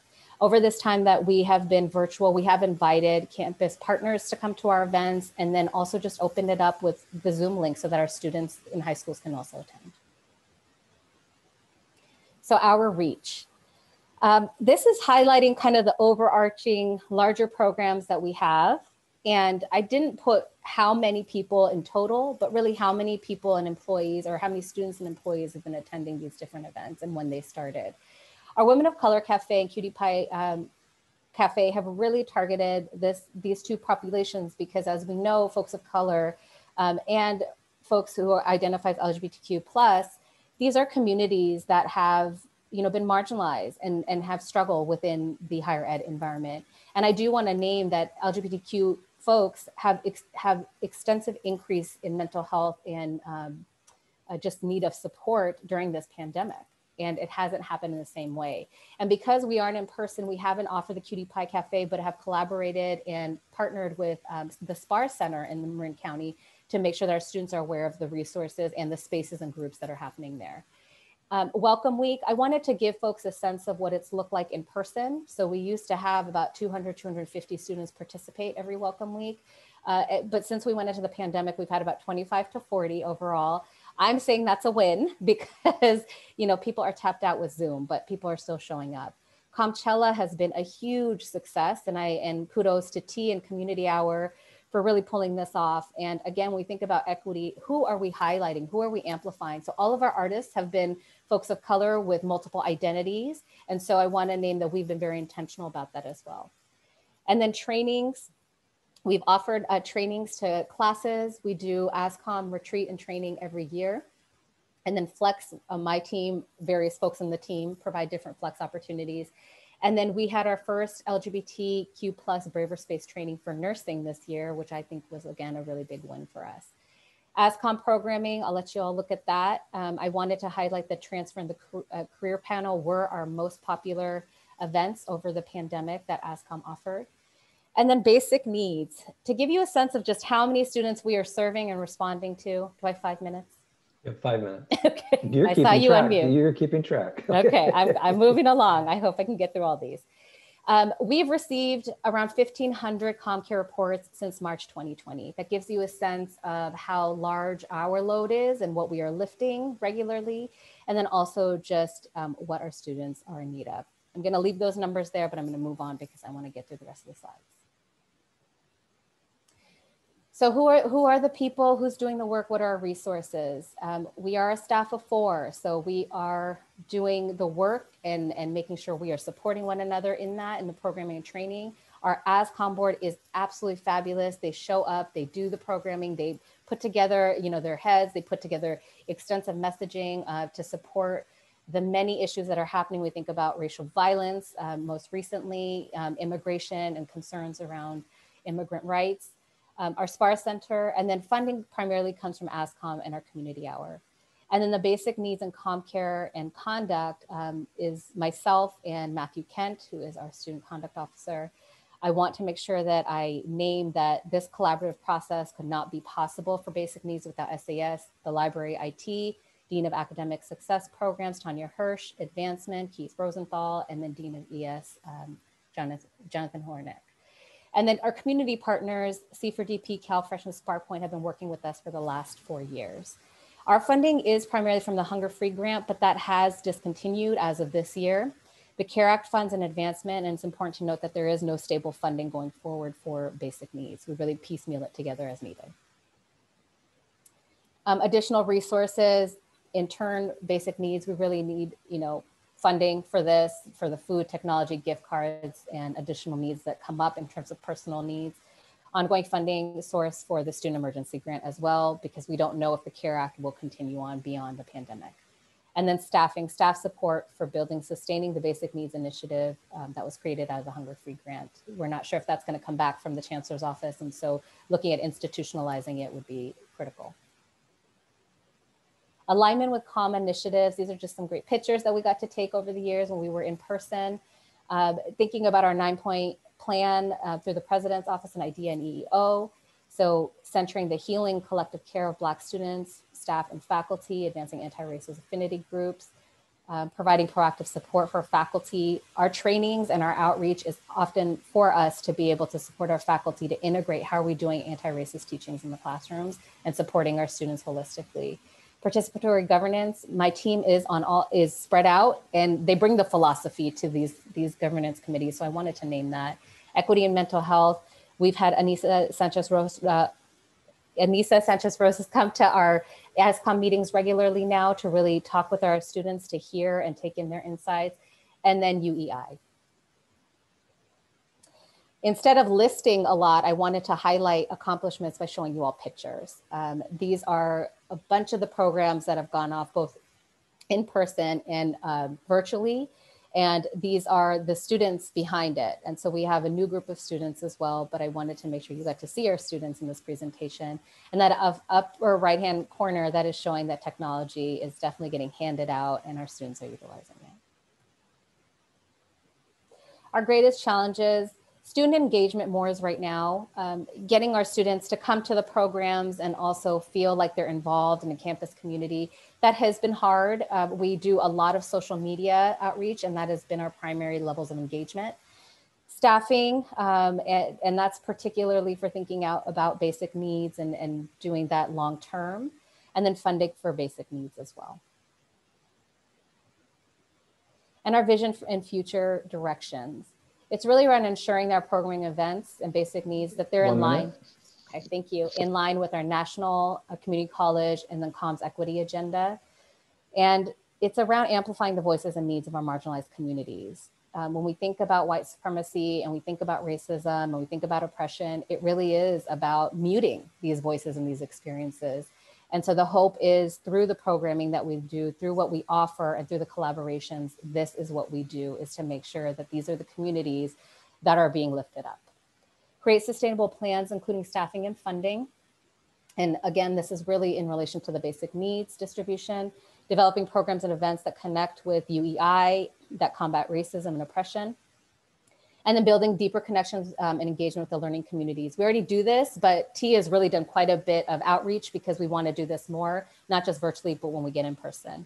And then more trainings and uh, presentations, evaluating accessibility of pro programs and contents when we think about um, students with disabilities and everybody when we think about universal design. And then finally, social media and ongoing tools for education and dissemination of information. And I'm afraid that brings us to time. That's okay. I made a list, so you can just look at that list. Thank you, everyone. Again, that list will be in the OneDrive. Thank you. Excellent presentation and excellent work. And I would be remiss, given where we've been the last 12 months, not to really thank you all for your work in the, basic needs area and the com cares area. Again, I could thank you very much. Great work. Uh, kudos to these folks in, in, student activities and advocacy. And I know there's been some great uh, kudos that are showing up in the chat room. So here's where we're at, folks. We have one last 15 minute presentation. And then I'm gonna make some just uh, closing comments, maybe two or three minutes worth. And then we will be done for the day. But last but certainly not least, we have our last presentation of, of the Umoja and the Umoja Equity Institute. And so I'm going to ask uh, Professor Turner to introduce his team. So thank everyone for being here today. It's a, it's a great, I want to give my uh, kudos out for the all those who were involved in the organizing of uh, College of Marin's first Equity Summit. And I want to repeat something which I repeated at the well attended convocation, which was uh, headed up with uh, Trap the Vote. We are now faced with the fact that tomorrow is today. We are confronted with the fierce urgency of now. And that's the uh, Reverend Dr. Martin Luther King speaking at the Great March on Washington in 1963. Uh, and there is the urgency of now. I want to thank President Coon, the administrative uh, uh, team for uh, putting together the um, for the for this equity summit. Uh, my name is Professor Walter Turner. I'm the coordinator of the Umoja Learning Community on the staff of the Umoja Equity Institute. Uh, and you'll hear at some point in this particular presentation from Dr. Yashika Crawford, uh, who'll be talking specifically about the Umoja Equity Institute. When we greet in the Umoja community, the first thing we say is Sawubona, uh, which is a Zulu word, which I, means I see you. And it means more than just I see you. Uh, it's more than just a word of politeness. Uh, it carries the importance of recognizing the worth and dignity of each person. Uh, when you say words like Sawubona, you say words like Umoja, you essentially hold one hand and you hold the hand of the other person. So you take a moment really to recognize their dignity and to recognize their worth. The Umoja community, uh, which is a key Kiswahili word, which means uh, unity, uh, is a community and critical resource dedicated to enhancing the cultural and educational experiences of African Americans and other students. Um, the Umoja is a statewide uh, institution. I currently serve on the executive board of the Umoja statewide uh, community. Uh, there are over 65 campuses um, serving about 10,000 students since 2006 uh, currently serving about 6,000 students annually. Uh, the Umoja statewide community has trained uh, over a thousand faculty and staff over the last five or six years. And at College of Marin, I'm particularly proud, we're particularly proud uh, that we have continued to graduate uh, African American students and students who are part of the Umoja program at just an outstanding uh, rate, increasing from 11 or 12 two or three years ago to 13 to 14 to 15. Uh, you can see the slide in front of us, which is the Umoja Learning Community uh, history. And without going through all the details, essentially the founding of Umoja uh, at the College of Marin, the founding of the mentoring project at the College of Marin was based on this concept that comes from the Othering and Belonging Institute uh, at UC Berkeley. I mean, we're finding that African American students were, were othered, that they were not being given agency and Professor Early spoke eloquently at the Board of Trustees meeting about how some events uh, at the Black Student Union Conference in Virginia in 1989, um, the recruitment of African American basketball players, uh, and then beginning of a process of Marin City Night, and a number of uh, situations that we did to make sure the people in the Marin City community, the Novato, the San Rafael um, communities were also informed. I think we often think that uh, all of the African American communities in Marin City, and that's not the case. Professor Tur uh, Early is really responsible uh, for establishing the mentoring program, which came before the official Umoja program that you see, which is now statewide. Uh, so uh, she was one of the spark plugs uh, for the mentoring project, which began before 2000. So we had a lot of unofficial Umoja activities, and then we began to move into official Umoja program about five years ago. The Umoja is aligned with the Educational Master Plan Strategic Plan 2019-2025 Educational Master Plan, as well as the 2019-2022 Strategic Plan with an intentional focus on equity mindedness and providing an institutional body which seeks to address the following, to eliminate racial equity gaps and to reduce access and barriers to student goals. Umoja is committed to the academic success, personal growth, and self-actualization of Black, African American, and all students, meaning that we believe that when the voices of students are, made, are heard intentionally uh, and that there is space in the institution, uh, that there are no limits to the success. Uh, many of our students who have graduated have gone on to HBCUs. Uh, some of the students have come back and played a role in Umoja, uh, but there are Umoja graduate students all around the United States and all around the world uh, who have graduated from the College of Marin uh, under the wings of the Umoja program. Uh, the weekly breakfast, which I particularly enjoy myself, the community events. Uh, we've had events which have uh, been rooted in the Marin City community and the larger campus community. we have a woman-to-woman group, um, which has some exciting programs which will be coming up this month and has an exciting series of programs on financial literacy, on being depressed while Black, of being a single mother, uh, those type of things, which have really given skills to our students to be able to survive. College and conference trip, a link with HUM 101, counseling and resources. I do want to mention as we flipped aside uh, that uh, Angela Davis was uh, here a couple of years ago. Uh, it was interesting because some people said they didn't come because they couldn't believe there was a real Angela Davis. Angela Davis was on our campus. Uh, Ericka Huggins was on our campus. And you see our funding there for the Umoja learning community. Uh, much of that comes from uh, statewide uh, uh, educational achievement funds, um, that is categorical funds. We've also been very, very creative in applying to the Umoja statewide program and getting funds for emergency student fund, for peer mentors, and also for speakers. Additional resources in need.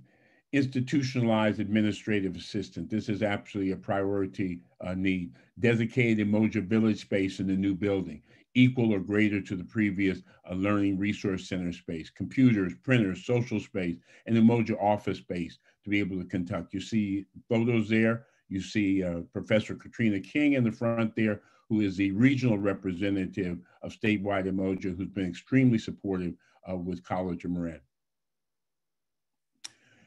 Alignment with other initiatives and programs, the Student Equity Plan, eliminate racial equity gaps, as well as enter the path, stay on the path, and ensure learning. We were always having African American students coming to College of Marin, but we didn't have a mechanism that was allowing them to stay on the path and to ensure learning and to be able to graduate and reach those goals. And with some of the things I hear today, I'm certainly much more confident we're, we're turning that corner.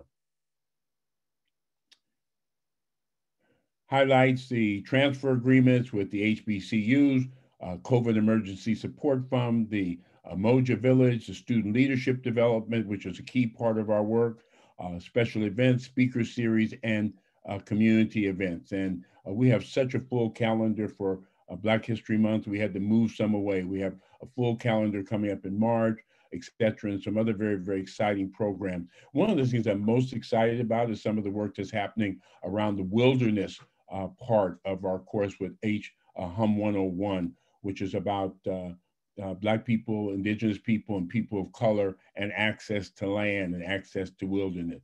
The need for administrative support is the uh, greatest challenge that we're looking forward and keeping going here with the next slide. Uh, the vision, the develop student mentoring program in conjunction with partner learning communities, uh, connecting students with internships. I want to thank Paul Dobmeyer uh, and those in the science area for supporting that. Uh, Professor Nino, develop African American male leadership program. Um, and continue to develop culturally relevant offerings for African American students, not just in the Ethnic Studies Department, but around the College of Marin campus. And also very, very proud of our uh, collaborations with the Physical Education Department. Uh, we had the highest GPA of uh, students, many of them attached to the uh, College of Marin Umoja program. And opportunities for collaboration, as you can see, the list is, is endless uh, here and uh, some of our good allies and friends that we work with. You see their name here, and we will continue to collaborate uh, going forward. In the interest of time, I'm going to uh, turn it over. As you see there, that's Trap to Vote. I'm going to turn it over to uh, Dr. Yashika Crawford to talk about the Umoja Equity Institute. We, we have about six minutes. Yes, sir. I, I got the time right on the nose. So sincere appreciations to all of you. It just really warms my heart to hear about so many of the amazing work that's going on on campus. Um, without question, College of Marin is really leading the efforts to inspire and instill and support our students. Uh, however, the, the purpose uh, of uh, why we all uh, are surrounded around this idea of, of equity. It didn't happen just by happenstance, but happened because of something happening. And it was egregious. And it uh, called and raised the alarm of us deciding, no, this is where the buck stops. We are uh, have to do something. And so in the summer of 2020, in response to the chancellor's office call to address equity, it was President Coon's nine point plan. It was the voice of Black Lives Mattering there was a proposal that was created uh, through so many of the talented folks of Umoja that wanted to systematically address racial equity. And so we were so happy uh, through the leadership of uh, President Coon that the College of Marin announced the launch of the Umoja Equity Institute. And so this is a collaboration of not just Umoja, but all of our valuable partners on campus to provide Umoja inspired training and learning activities to advance the agendas of equity, inclusion, and anti-racism in our communities. And so this will serve as our central hub in the development of innovative programs and services and complement the mission of the Marin Community College District. We have four areas of focus uh, for the uh, Umoja Equity Institute, which includes the faculty's community and practice, the mental health equity lens, the high school to com pipeline, and the classified grow your own. These are the focus areas which allows us as a community at College of Marin to center all of our efforts in terms of ensuring that we're all going in the same direction briefly want to highlight the faculty communities of practice, again, is in collaboration of some of our partners, such as Academic Senate, UPM, our Professional Learning Committee, uh, to advance that equity-minded and anti-racist classroom practices, encouraging spaces where faculty can collaborate and learn from each other, thereby promoting professional growth for all of us. Our Grow Your Own Classified Professionals is extending our opportunity to work alongside Professional Learning Committee and Classified Senate and CSEA in order to support our classified professionals with accessing really great uh, opportunities for learning. High School to Com Pipeline are a uh, amazing opportunity to work with our partners uh, connected with our K-12 communities to not only increase the transition of high school students, but to work with our local community partners to enhance our educational services to African-American community, while also providing opportunities for members of College of Marin's community to access the community and in the expertise that they have. Lastly, we are so happy about our equity and mental health series, our collaboration with psychological services, which you've already heard about, which is providing a lot of an abundance of support in collaboration with our community partners with addressing the need to implement, develop, and support mental health programming for students of color. Our alignment with the Ed Master Plan and Strategic Plan is lockstep. In fact, it was with its inception that we want to ensure that it not only was addressing the Ed Master Plan, but the strategic plan uh, as highlighted here. In terms of services and resources, right now we are functioning on awesome sweat equity from an amazing group of talented persons. But the goal and the hope is to uh, access some resources in the amount of about $145,000, as well as secure space in our new uh, building in order to amplify and support the work ahead. These are some of the other initiatives that we are aligned with. Uh, not only is it the student equity plan, but guided pathways, but also the Chancellor's Office Vision for Success, as well as Dr. Coon's nine point plan for equity.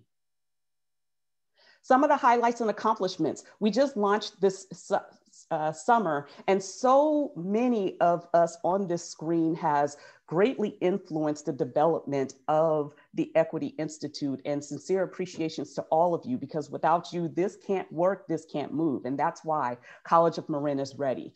But from the summer to now, we have already been identified as a statewide model for how a, a college can do the same thing. And so we're super excited by the opportunity to share the best practices that we've learned just already. We've had a host of engagement opportunities that consisted of not only campus-wide community engagement planning sessions. We've had a really amazing opportunity to bring in Trap the Vote, the voices from our community in order to talk about what it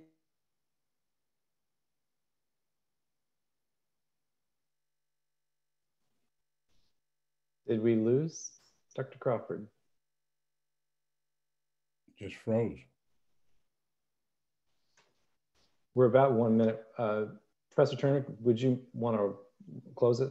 Yeah, I close can it close it if she's if she's frozen. But I, I think she was uh, uh, Professor Crawford was talking about the amazing opportunities in the breakout sessions that came from the uh, from the Trap the Vote uh, convocation and the breakout sessions uh, the breakout session on Friday was attended about 40 or 45 different people. So some of the greatest challenges, which would be the next part we were going to go into, are the alignment of college and Marin equity efforts, the duplication, avoiding the duplication of efforts, the assessment of progress towards uh, equity goals. Making an assessment is important. All of us have done work in silos before, but we need to be able to assess where we're going, assuring consistency in defining equity and guiding practices, future direction, the launching the faculty committees, uh, aligning operational definitions and assessment, uh, mental health, and organizing College of Marin outreach uh, efforts. So those are some of the directions that we're going Great. with the Umoja Equity Institute. And I think we're just about at the edge of, of time, and we've spoken about this before. Uh, and we look forward to this as an institutional umbrella for the College of Marin. Thank you very much, uh, President Coon. And sincere appreciations by that. Apparently, I just had a power trip in my house. and so the revolution will be televised. Today, that was so on purpose. Great. That's great. Well, thank you both for great presentations and great work. Uh, we look forward to supporting both initiatives and looking forward to seeing where the Institute goes. So kudos to our uh, Umoja colleagues, and I lost my chat box here. Uh, but that's okay. Let's show appreciation in the chat box for them as well.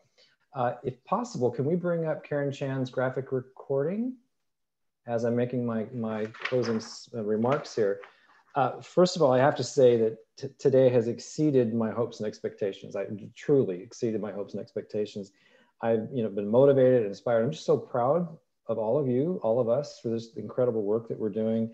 And I see such potential and possibilities uh, for moving forward. One of the clear outcomes that I hope to see is a web page that features all of this work, right?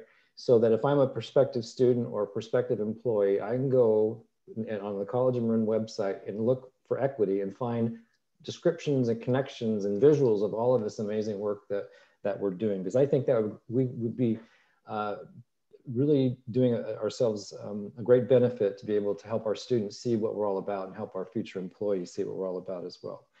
Um, where we go from here, that's a you know question that I don't actually know the answer to because um, I actually want to engage you in that in that question, and we'll be sending out a little survey about any feedback that you might have about how today went.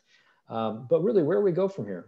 Do we do this once or twice a year? What's the format? I know 15 minutes was awfully con constraining for some. Uh, do we spread it over two days rather than one? Or, you know, in an ideal world, we would have been together and perhaps it could have been an all day event.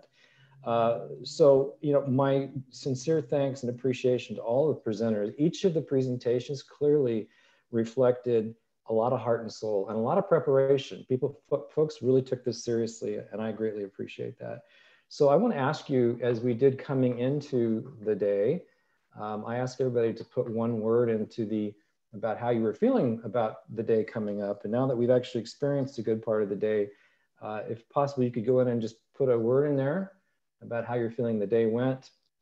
We will be uh, capturing the chat, um, the, the text of the chat for use in the future.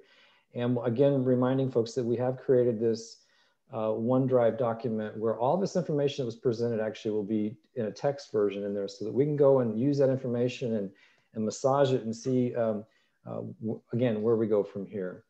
So with that, I want to thank um, our closed captioner who we don't have a name on, that's intentional uh, Karen Shan, the great artwork. I look forward to seeing this in person and seeing how we might use this image. To all of our presenters, to, um, to Jesse and Nicole, everybody else behind the scenes. And I think then um, all of our participants, we had a good number of participants that weren't presenters that stayed with us all day. So with that, we're only about 14 minutes behind schedule and that's not bad. So everybody have a great week and I appreciate you uh, and stay healthy and take good care.